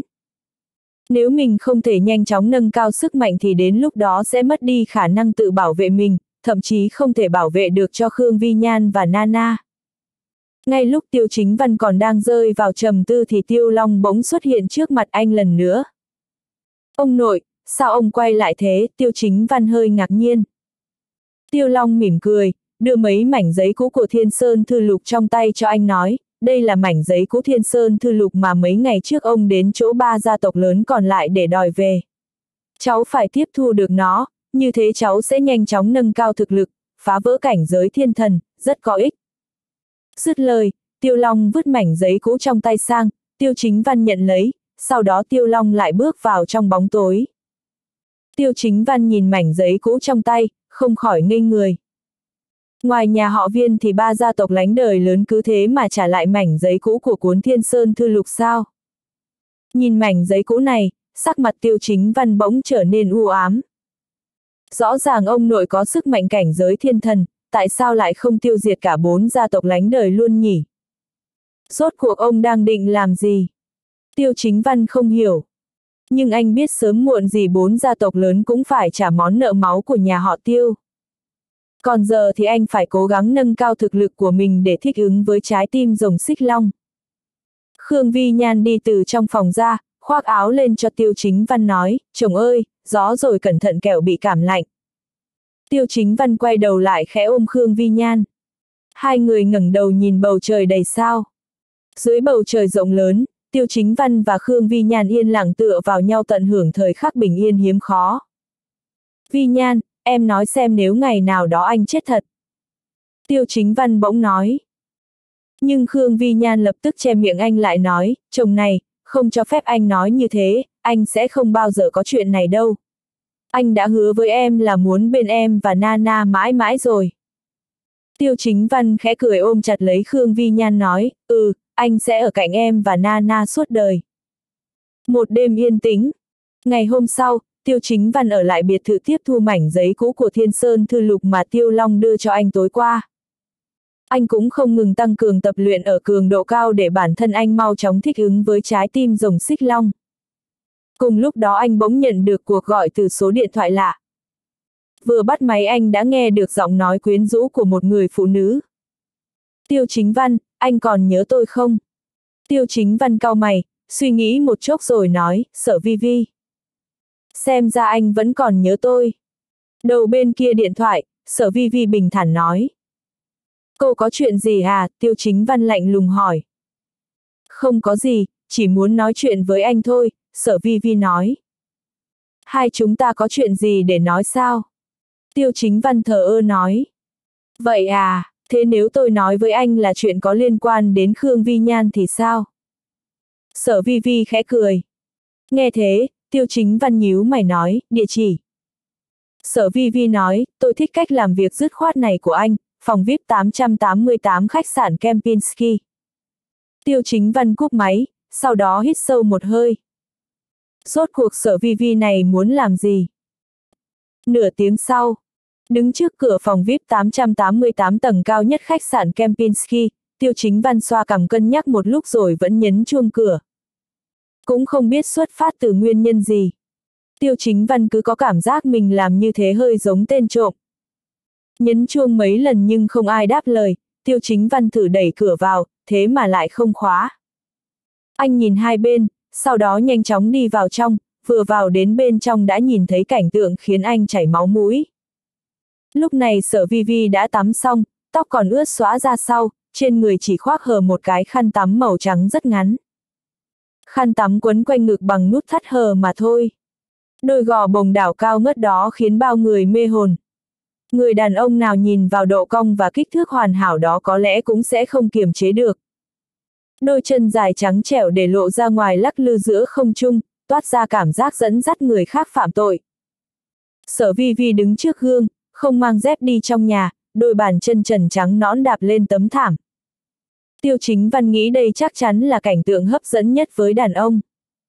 Tiêu chính văn không dám nghĩ lẽ nào bây giờ trên người người phụ nữ này chỉ có một chiếc khăn tắm thôi sao?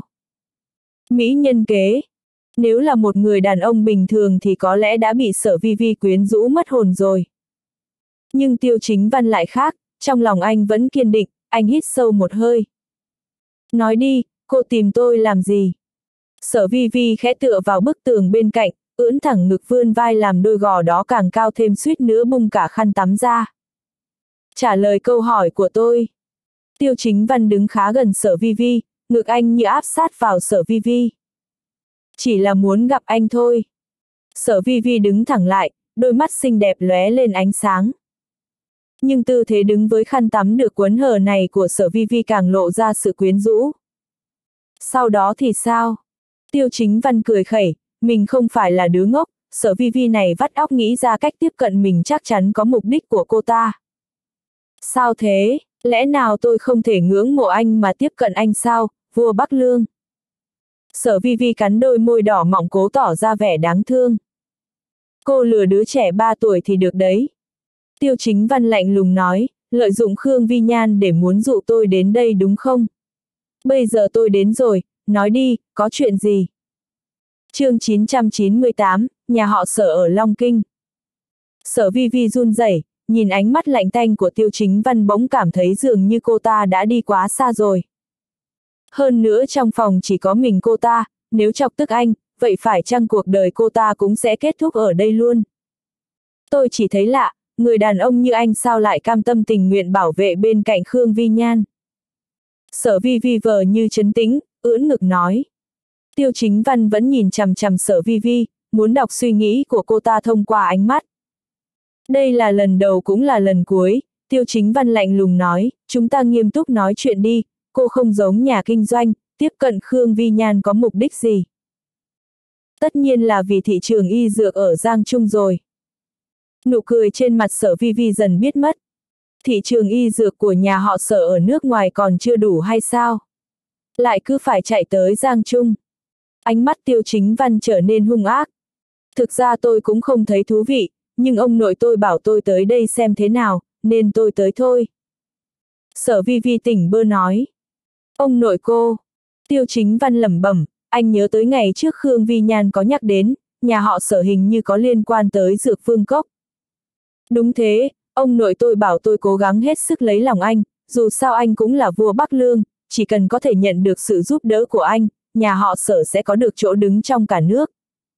Sở vi vi nhếch mép cười, hai tay ôm lấy cổ tiêu chính văn, tư thế cực kỳ mập mờ. Đây là lần đầu tiên cô ta làm như vậy với một người đàn ông, nên tiêu chính văn có thể cảm nhận rõ ràng cơ thể cô ta đang run rẩy. Sao, tôi đã ăn mặc như thế này rồi mà anh vẫn không muốn làm gì à? Sở vi vi mỉm cười nói, nụ cười rất quyến rũ và mê hoặc. Cô đang đùa với lửa đấy. Tiêu chính văn nói xong, ánh mắt hơi rét lạnh. Nếu anh là lửa, thì tôi rất hy vọng anh có thể đốt cháy tôi. Sở vi vi hơi ngả người về trước, động tác này của cô ta mang lực sát thương cực lớn với đàn ông, vì có thể thấy rõ ràng đường cong đầy đặn của cô ta. Tiêu chính văn cao mày, đẩy cô ta ra nói, bớt làm trò này lại.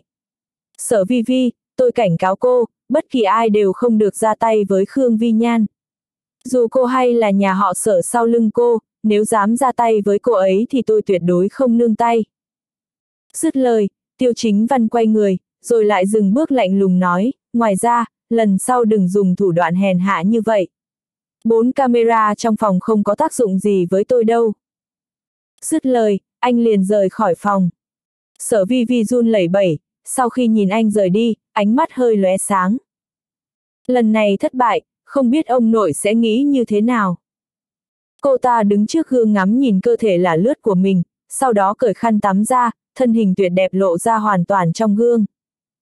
Gò má cô ta dần ửng hồng, ngày trước có vô số đàn ông điên cuồng muốn có được cơ thể này của cô ta, cô ta đều từ chối. Hôm nay, cô ta chủ động tiếp cận một người đàn ông, nhưng lại bị khước từ. Sở vi vi giơ tay lên ôm mặt, tự nhủ chẳng lẽ mình không đủ hấp dẫn. Sao anh ta lại từ chối mình chứ? Càng ngày càng thú vị rồi đây. Dứt lời, cô ta mặc lại quần áo, bước đến bên giường, lấy một trong số những chiếc camera ra, nói về phía ống kính, thất bại rồi, lần sau đừng bắt tôi làm trò này nữa. Cùng lúc đó, trong một phòng tập gym lớn nào đó, một người đàn ông mặc áo bó sát đang lên xà đơn, chỉ cần nhìn cơ bắp toàn thân kia là biết đây là người tập thể hình, vóc dáng chuẩn, hơn nữa còn rất sung mãn. Nhưng hắn không phải kiểu đàn ông lực lưỡng, đường cong hoàn hảo, không phải kiểu bên ngoài thì gầy bên trong có cơ bắp, mà có gương mặt góc cạnh, vóc người cao gầy. Trong phòng tập gym này, hắn là người nổi tiếng, rất được chào đón. Nhất là những cô gái trẻ, thường xuyên vây quanh hắn. Hắn chẳng hề cự tuyệt, mà tỏ ra thân thiết với những cô gái kia. Nhưng khi các cô gái đó muốn tiến thêm một bước để tô thắm mối quan hệ thì đều bị hắn từ chối khéo. Lúc này, bên cạnh hắn ta có một người phụ nữ mặc áo bó sát màu đen, đang dùng bóng tập yoga làm động tác kéo giãn. Cô gái này có mái tóc ngắn ngang vai nhưng gọn gàng, gò má hơi cao, có đôi mắt đẹp biết nói, hơn nữa trong đôi mắt dường như còn có tia sáng. Có duy nhất một thứ khiến người khác cảm thấy kỳ lạ là trên lưng của người phụ nữ này còn gài một con dao găm. Mà kế bên người phụ nữ còn có một người đàn ông lực lưỡng mặc áo ba lỗ màu đen đang đứng khoanh tay, hệt như một cây tùng sừng sững, đôi mắt lạnh tanh, khí thế trên người toát ra như một thanh kiếm đã rút vỏ. Trên mặt hắn giống như viết bốn chữ, người lạ chớ vào. A tứ, ông nội cử vi vi đi giang chung rồi à? Người đàn ông sáng sủa lên xà đơn xong liền nhảy xuống, cầm khăn lông lau tay, trên mặt nở nụ cười. Vâng, thưa cậu hai. Người đàn ông lực lưỡng tên là A Tứ gật đầu, vừa lên tiếng đã có cảm giác cả căn phòng đều rung lên, âm thanh trầm bổng. Ừ, cô em gái đó của tôi vừa trở về từ nước ngoài, có nhiều chuyện trong nước vẫn không hiểu rõ, từ nhỏ đã thân thiết với tôi nhất, tôi sợ con bé tới Giang Trung bị người ta bắt nạt. Người đàn ông này chính là sở nghiệp phó, cậu hai nhà họ sở ở Long Kinh, cũng là anh trai của sở Vi Vi. Cô ba ở Giang Trung rất an toàn, nếu cậu hai không yên tâm, có thể phái giả cơ qua đó. A Tứ trầm giọng nói. Ừ. Sở nghiệp phó ngồi xuống, lấy khăn lông lau mặt rồi hỏi, nghe nói lúc trước cậu ba của Dược Vương Cốc từng gặp rắc rối ở Giang Trung à? Vâng, gần đây Giang Trung xuất hiện một người rất giỏi, khiến Hoàng Khắc Long và ông Ngụy đều bị thương. Hơn nữa căn cứ theo tin tức đáng tin cậy, hắn ta còn giết hai cường giả tông sư kiếm tông. Trong mắt A Tứ lóe lên tia sáng lạnh lẽo. Sở nghiệp phó không khỏi cười nghiền ngẫm nói, thằng nhóc Hoàng Khắc Long bình thường kiêu ngạo quen rồi, lần này coi như nếm mùi bị dạy dỗ. Theo lý mà nói, Hoàng Khắc Long sẽ không chịu để yên như vậy, dược phương cốc chẳng lẽ không có động tính gì ư? A tứ cao mày, lắc đầu nói, cậu hai, thuộc hạ cũng không rõ. Chỉ biết là sau khi Hoàng Khắc Long trở về dược vương cốc thì đã bị giam cầm. Ồ, thú vị đấy. Sở nghiệp phó bật cười, ánh mắt lóe sáng, nói tiếp cử người đi điều tra xem kẻ đó là ai, tôi muốn có tất cả tài liệu về hắn. Rõ. A Tứ trả lời. Khoảng 10 phút sau, A Tứ quay trở lại phòng tập gym, cầm tài liệu trong tay đưa cho sở nghiệp phó, cậu hai, đã điều tra ra, lai lịch của hắn không hề nhỏ. Sở nghiệp phó cầm lấy tài liệu, liếc nhìn vài lần, sau đó xa sầm mặt mày, nhếch mép cười nói, tiêu chính văn, vua Bắc Lương, chẳng trách thằng nhóc Hoàng Khắc Long lại bị giam cầm. Ông nội bảo Vi Vi tới Giang Trung, cũng là vì hắn ư. A Tứ gật đầu nói, chắc là vậy. Không phải nói vua Bắc Lương đã chết tại Bắc Lương rồi hả? Sở nghiệp phó hỏi ngược lại. A Tứ nhún vai nói, cái này thì tôi không rõ, đây là chuyện của thiên tử các, chúng ta không có quyền nhúng tay vào. Sở nghiệp phó nghĩ ngợi một lúc rồi đứng lên, đi, theo tôi tới Giang Trung một chuyến, gặp vua Bắc Lương trong lời đồn. Vâng. Dứt lời, ba người rời khỏi phòng tập gym. Mà lúc này, tại Sơn Trang cẩu nhà họ sở ở Long Kinh. Trong sảnh lớn cẩu Sơn Trang, đã có rất nhiều người đang ngồi ở đây. Đứng đầu dĩ nhiên là sở hạn khang ông cụ nhà họ sở. Cụ ta chừng 70 tuổi, nhưng sắc mặt vẫn hồng hào, tinh thần phơi phới. Ý của Dược Sư Hoàng là muốn nhà họ sở chúng ta bất chấp mọi gì để tiếp cận tiêu chính văn. Mục tiêu đầu tiên là đoạt được trái tim rồng xích long trong cơ thể cậu ta. Nếu mục tiêu này không thể thực hiện được, vậy thì mục tiêu thứ hai là lấy được máu của cậu ta. Máu của người mang trái tim rồng xích long là thuốc có tác dụng rất lớn. Sắc mặt sở hạn khang nặng nề nói, trong ánh mắt còn lóe lên tia sáng. chương 999, giúp được thì giúp. Ở Giang Trung, sau khi rời khỏi chỗ sở vi vi, tiêu chính văn đến tập đoàn Vi Nhan. Khi bước vào văn phòng của Khương Vi Nhan, anh thấy cô đang nghe điện thoại, sắc mặt còn rất khó coi. Vợ sao thế, xảy ra chuyện gì à, tiêu chính văn hỏi. Khương Vi Nhan để điện thoại xuống, nghĩ ngợi một lát rồi nói, chồng này, vừa nãy mẹ em gọi đến nói là bên cậu hai gặp phải chút chuyện khó khăn trong làm ăn kinh doanh nên muốn chúng ta giúp đỡ. Cậu hai em, cái người tên từ Khang An đấy à? Tiêu chính văn cau mày. Trước đây Tiêu Chính Văn từng nghe Khương Vi Nhan nhắc đến từ Khang An này khi còn ở Tu Hà. Ông ta là một người hèn hạ chỉ biết đến lợi ích. Vâng, mẹ em nói công ty ở Bạch Thành của cậu hai gặp chút chuyện, mong chúng ta có thể giúp đỡ vì công ty của cậu hai cũng làm về y dược. Khương Vi Nhan nói, vẻ mặt hơi do dự. Không phải cô không muốn giúp, chỉ là cô vẫn còn nhớ rất rõ trước đây từ Khang An đối xử với cả nhà cô như thế nào. Lúc đó cả nhà từ Khang An luôn coi thường nhà cô, thậm chí khoảng thời gian Khương Vi Nhan một mình chăm sóc Nana, họ đã xỉ vả cô rất nhiều lần. Em có muốn giúp không? Tiêu chính văn hỏi. Nghe anh hỏi, Khương Vi nhàn im lặng một lúc lâu, sau đó thở dài nói, chồng à, làm phiền anh đến đó một chuyến thay em nhé, dù sao ông ấy cũng là cậu hai của em. Bây giờ công ty chúng ta làm ăn lớn thế này, nếu chút chuyện này mà cũng không giúp được e là sẽ bị bàn ra tán vào, hơn nữa lúc nãy trong điện thoại mẹ em cứ khóc lóc ẩm ý. Tiêu chính văn nói, ừ, anh biết rồi. Cảm ơn chồng nhé. Khương Vi Nhan dịu dàng mỉm cười. Dứt lời, tiêu chính văn ra khỏi công ty, đồng thời cũng gọi cho từ Khang An. Lúc này từ Khang An đang ở trong phòng từ phân, sau khi nhận được điện thoại của tiêu chính văn thì vô cùng mừng rỡ, cháu rể à. Chào cháu. Ông nói đi, gặp phải chuyện rắc rối gì, tiêu chính văn lạnh nhạt hỏi. Không thể nói rõ qua điện thoại được, cháu đang ở đâu để cậu qua đó, từ Khang An nói. Trong một quán cà phê, cậu còn nghĩ cháu sẽ không giúp nữa chứ, lúc cháu gọi đến làm cậu rất bất ngờ. Từ Khang An mỉm cười nhìn tiêu chính văn. Người thân trong nhà có thể giúp tất nhiên không thể từ chối. Tiêu chính văn uống một hớp cà phê nói. Lần này cậu đến nhờ cháu giúp chủ yếu là vì chuyện làm ăn kinh doanh. Từ Khang An nói. Chuyện làm ăn, là muốn tôi đầu tư hay thế nào, tiêu chính văn hỏi. Cũng không phải, việc kinh doanh ở ngoài tỉnh của cậu khá tốt. Từ Khang An thở dài như thể bây giờ đang cảm thấy vô cùng bất lực. Việc kinh doanh rất ổn định nhưng lại gặp phải khó khăn, lẽ nào có người ganh tị, căm ghét, tiêu chính văn nói. Cháu đoán đúng rồi, nhiều người đều nói kinh doanh ở nước ngoài rất khó, sẽ dễ bị lật đổ nhưng thật ra kinh doanh ở tỉnh khác cũng thế thôi. Từ Khang An chậm rãi nói. Tiêu chính văn không ngắt lời mà cứ để từ Khang An nói tiếp. Mặc dù từ Khang An cậu không có sự kiên quyết để làm một ông sếp lớn nhưng làm ăn vẫn rất thành thật, mọi thứ đều đảm bảo chất lượng nên cũng có chút danh tiếng trong giới. Bởi vì có tiếng tăm, nhiều người sẽ đến chỗ của cậu lấy hàng, thế nên cũng bị các công ty khác trong ngành thù ghét. Nói đến đây từ Khang An siết chặt nắm đấm. Chỗ nào có cạnh tranh thì sẽ có xung đột, chuyện này rất bình thường, tiêu chính văn nói.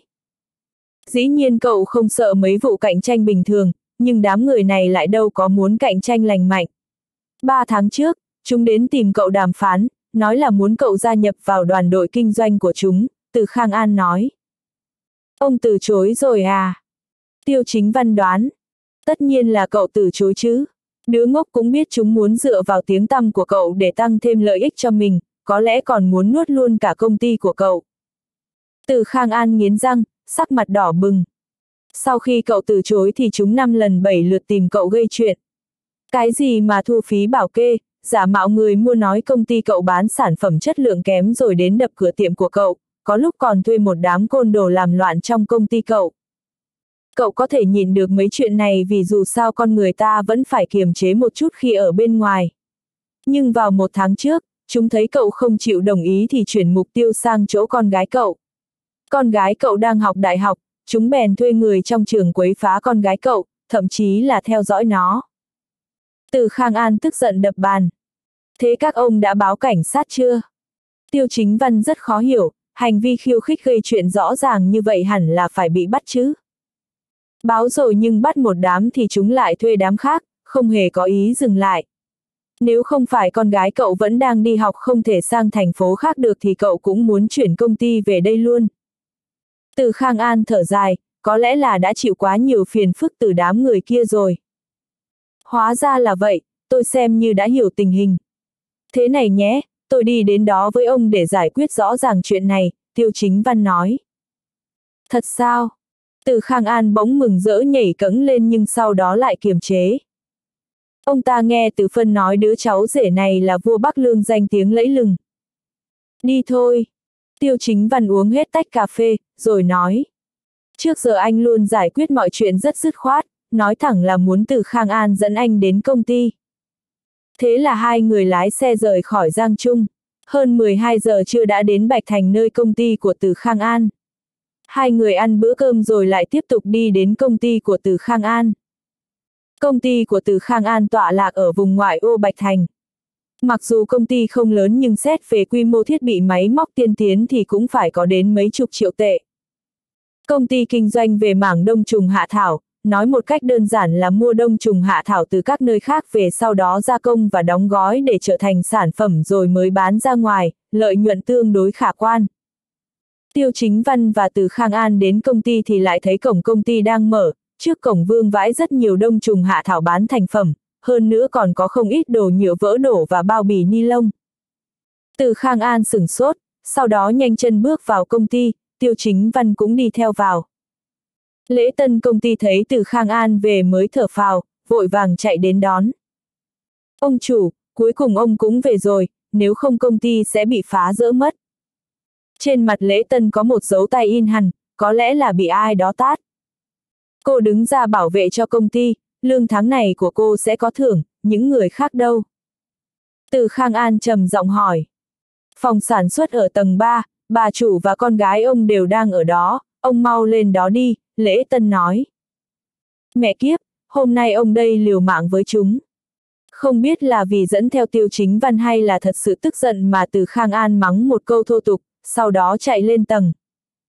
Trong phòng sản xuất, nơi này vốn dĩ là phòng gia công đông trùng hạ thảo lớn nhất của công ty từ Khang An, có đến hơn 30 thiết bị máy móc, nhưng bây giờ lại bị phá hủy hơn một nửa, dầu máy rơi khắp mặt đất, có không ít đông trùng hạ thảo thành phẩm và bán thành phẩm bị dẫm đạp. Vương ma tử, cậu quá đáng lắm rồi đó.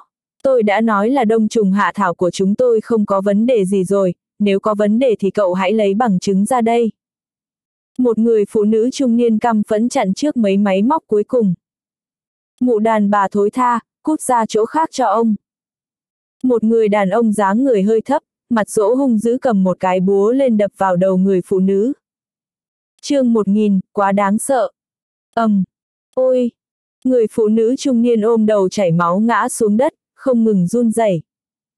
Hừ, không biết tự lượng sức mình, tôi đã nói rồi đừng chống lại ông chủ phạm, bây giờ thì biết kết cục chưa? Không chỉ nhân viên công ty các người bị bọn tôi đánh mà bây giờ mẹ con các người cũng phải bị bọn tôi đánh. Chồng bà đâu, sao lại đi trốn rồi? Vương ma tử nói. Mẹ, mẹ thấy sao rồi? Con gái từ Khang An là từ An Kỳ bật khóc chạy đến cạnh mẹ mình, vội vàng lấy khăn ngăn máu chảy. Ồ, em gái này trông ngon nhỉ, hay là em ngủ với anh đây một đêm, anh sẽ không động đến mấy thiết bị máy móc này nữa. Vương ma tử đã thèm muốn tự An Kỳ từ lâu. Cút đi, tôi đã báo cảnh sát, các anh sắp phải ăn cơm tù rồi. Từ An Kỳ tức giận đáp. Không sao, thế trước khi vào đó chẳng phải anh nên sảng khoái một chút sao? Vương ma tử nói như thế, mấy người khác lập tức như tiêm phải thuốc kích thích nhìn chằm chằm vào từ An Kỳ với ánh mắt dâm dục thèm khát. Dù sao chúng cũng làm việc cho người khác, nếu làm ra chuyện gì quá đáng thì cũng có người ở phía sau giúp đỡ chống lưng. Vài tên lần lượt nhào đến chỗ Từ An Kỳ, thậm chí còn không bỏ qua cho mẹ của Từ An Kỳ, chúng ấn hai tay cô ta xuống đất. Lại có mấy người nữa đè chặt hai chân cô ta, xé rách quần áo trên người cô ta ra hệt như một lũ đã mất hết nhân tính. a à, đừng mà!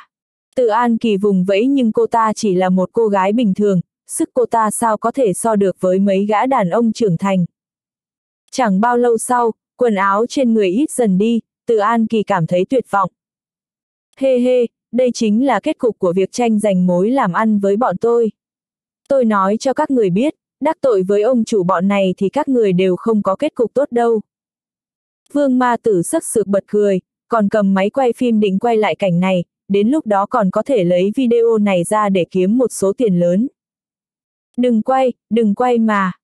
Tự An Kỳ gào lên, nhưng cô ta càng gào thì lại càng kích thích dục vọng của chúng. Dừng tay lại hết cho tôi. Vào lúc mấu chốt, từ Khang An bỗng chạy đến lớn giọng hét lên. Những người khác lập tức dừng lại nhìn về phía ông ta. Từ Khang An, ôi trời, lá gan nào khiến ông dám lên đây thế? Mấy anh em ở dưới đâu? Sao không ai báo một tiếng hết thế? Vương ma tử khó hiểu nhìn cánh cửa đằng sau từ Khang An nhưng chỉ nhìn thấy Tiêu Chính Văn bước ra từ phía sau từ Khang An. Khi Tiêu Chính Văn xuất hiện, không khí xung quanh giường như đóng băng, khoảnh khắc đó trong mắt anh hiện lên lửa giận và sát khí. Đám đàn em của mày đã bị tao đánh gục rồi. Tiêu Chính Văn nói. Cái gì, sao có thể chứ? Vương ma tử không dám tin nói. Đàn em dưới trướng của vương ma tử đều là mấy tên côn đồ đầu đường xó chợ, rất giỏi đánh đấm, thậm chí một trọi mười. Thật không ngờ bọn mày lại ra tay với phụ nữ. Tiêu chính văn chậm rãi bước đến, cũng siết chặt nắm đấm. Mấy năm trở lại đây, chính phủ thường xuyên thanh lọc những hành vi đen tối, xấu xa, vốn tưởng dù có các thế lực ngầm cũng không dám ngông cuồng như thế. Không ngờ đám người vương ma tử này lại dám ngông nghênh xông vào công ty của Từ Khang An, không chỉ đập phá thiết bị mà thậm chí còn uy hiếp người nhà đối phương, muốn làm nhục phụ nữ. Bọn tao làm gì thì liên quan mẹ gì đến mày? Từ Khang An, lẽ nào ông mời một tên biết đánh nhau đến sao? Vương ma tử hơi hiếu kỳ nhìn tiêu chính văn. Thầm nghĩ bên mình nhiều người như thế, dù tiêu chính văn có đánh giỏi cỡ nào cũng chỉ có một mình thôi.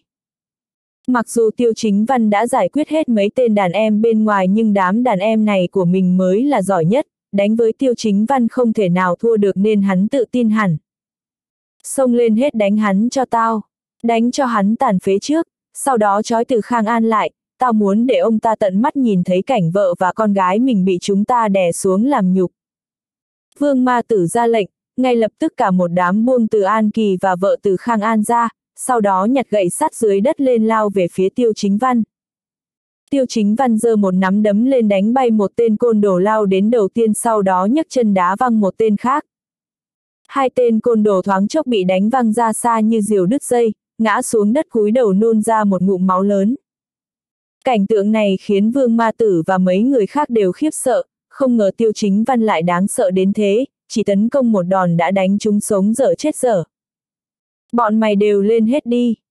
Tiêu chính văn ngước mắt lên nhìn đám côn đồ xung quanh, còn chúng lại không dám bước lên trước một bước sợ sẽ bị đánh giống đồng bọn. Bọn mày không dám lên sao? Vậy để tao. Tiêu chính văn nhìn chúng không dám lao đến thì nhoáng một cái tiến đến chỗ đám người đó. Anh hệt như mãnh hổ xông vào giữa bầy dê, đánh bọn chúng tan tác. Không đến nửa phút, tất cả đàn em của vương ma tử đều nằm la liệt dưới đất, trên người đầy vết thương. Mẹ kiếp, người này sao lại đáng sợ đến thế? Lúc này vương ma tử đâu còn suy nghĩ quan tâm đến đàn em của mình, hắn nhấc chân muốn tháo chạy. Tiêu chính văn nhặt hòn đá lên rồi ném thẳng vào chân vương ma tử. Vương ma tử chỉ nghe thấy xương chân của mình vang lên tiếng đứt gãy, cả người ngã nhào xuống đất. Mẹ ơi, người này là quái vậy sao? Trời ạ, xin anh tha cho tôi, tôi sai rồi. Vương ma tử định bò về phía trước nhưng bò một lúc mới nhận ra tiêu chính văn đã đi đến trước mặt hắn, bị sức mạnh đáng sợ của tiêu chính văn đè ép khiến hắn chỉ đành liên tục xin tha. Tiêu chính văn nhấc chân đạp lên đầu hắn. Bây giờ tiêu chính văn chỉ cần dùng sức một chút là có thể đạp nát đầu vương ma tử này dễ dàng. Vương ma tử dường như cũng biết điều này, chỉ đành run lẩy bẩy quỳ dưới đất cầu xin tha. Cách trừng trị bạo lực và đáng sợ này, ngay cả từ Khang An và từ An Kỳ nhìn thấy cũng phải ngây người. Dùng bạo lực trị bạo lực, đây là cách giải quyết nhanh nhất nhưng cũng là cách tàn nhẫn nhất. Nếu là bình thường từ Khang An tuyệt đối sẽ không trừng trị đối phương bằng cách này, nhưng bây giờ thấy vương ma tử thường dùng quyền thế để chèn ép mình dưới chân, ông ta chỉ cảm thấy sảng khoái, cảm nhận được cảm giác vui vẻ khi báo được thù. tự An Kỳ không kiềm chế được giơ tay xoa trái tim mình, cô ta nhìn thấy vẻ đẹp trai ngời ngời lúc tiêu chính văn đứng ra bảo vệ mình. Người đàn ông trước mặt hệt như một chiến thần không ai có thể địch lại được. Chỉ cần anh đứng trong đám đông thì có thể mang lại cho người khác cảm giác an toàn. Đẹp trai quá, tiếc là anh ấy là anh rể của mình. Vừa nghĩ đến vấn đề này, tự An Kỳ không khỏi cảm thấy mất mát, cũng bắt đầu thấy hơi ghen tị. Trước tiên nên gọi xe cấp cứu đến đưa người bị thương đi bệnh viện. Tiêu chính văn để ý thấy lúc này đầu vợ của từ Khang An chảy rất nhiều máu, nếu không xử lý kịp thì sẽ nguy hiểm đến tính mạng. Từ Khang An cũng vừa hoàn hồn lại lập tức gọi điện cho xe cấp cứu. Nói đi, người sai bảo bọn mày là ai, dẫn tao đi gặp người đó. Hôm nay tao phải giải quyết dứt điểm chuyện này. Tiêu chính văn lạnh lùng nói. Là, ông chủ tập đoàn Vân Phi, là ông ta thuê bọn tôi, ông ta cho bọn tôi rất nhiều tiền bảo bọn tôi quấy rối nhà máy của Từ Khang An, nếu có thể khiến ông ta đóng cửa hoặc chuyển đi thì sẽ cho bọn tôi nhiều tiền hơn. Vương Ma Tử nói ra hết toàn bộ những gì mình biết. Tập đoàn Vân Phi, hóa ra người đứng đằng sau chuyện này là chúng, đúng là chết tiệt. Từ Khang An nghe đến tên tập đoàn thì lập tức nổi giận. Vậy thì vừa hay, mày gọi điện nói với chúng, mày đã trói hết cả nhà từ Khang An lại rồi, giờ bảo chúng đến nghiệm thu. Tiêu chính văn lục tìm điện thoại trên người vương ma tử rồi ném sang cho hắn. Audio điện tử võ tấn bền. Hết tập 50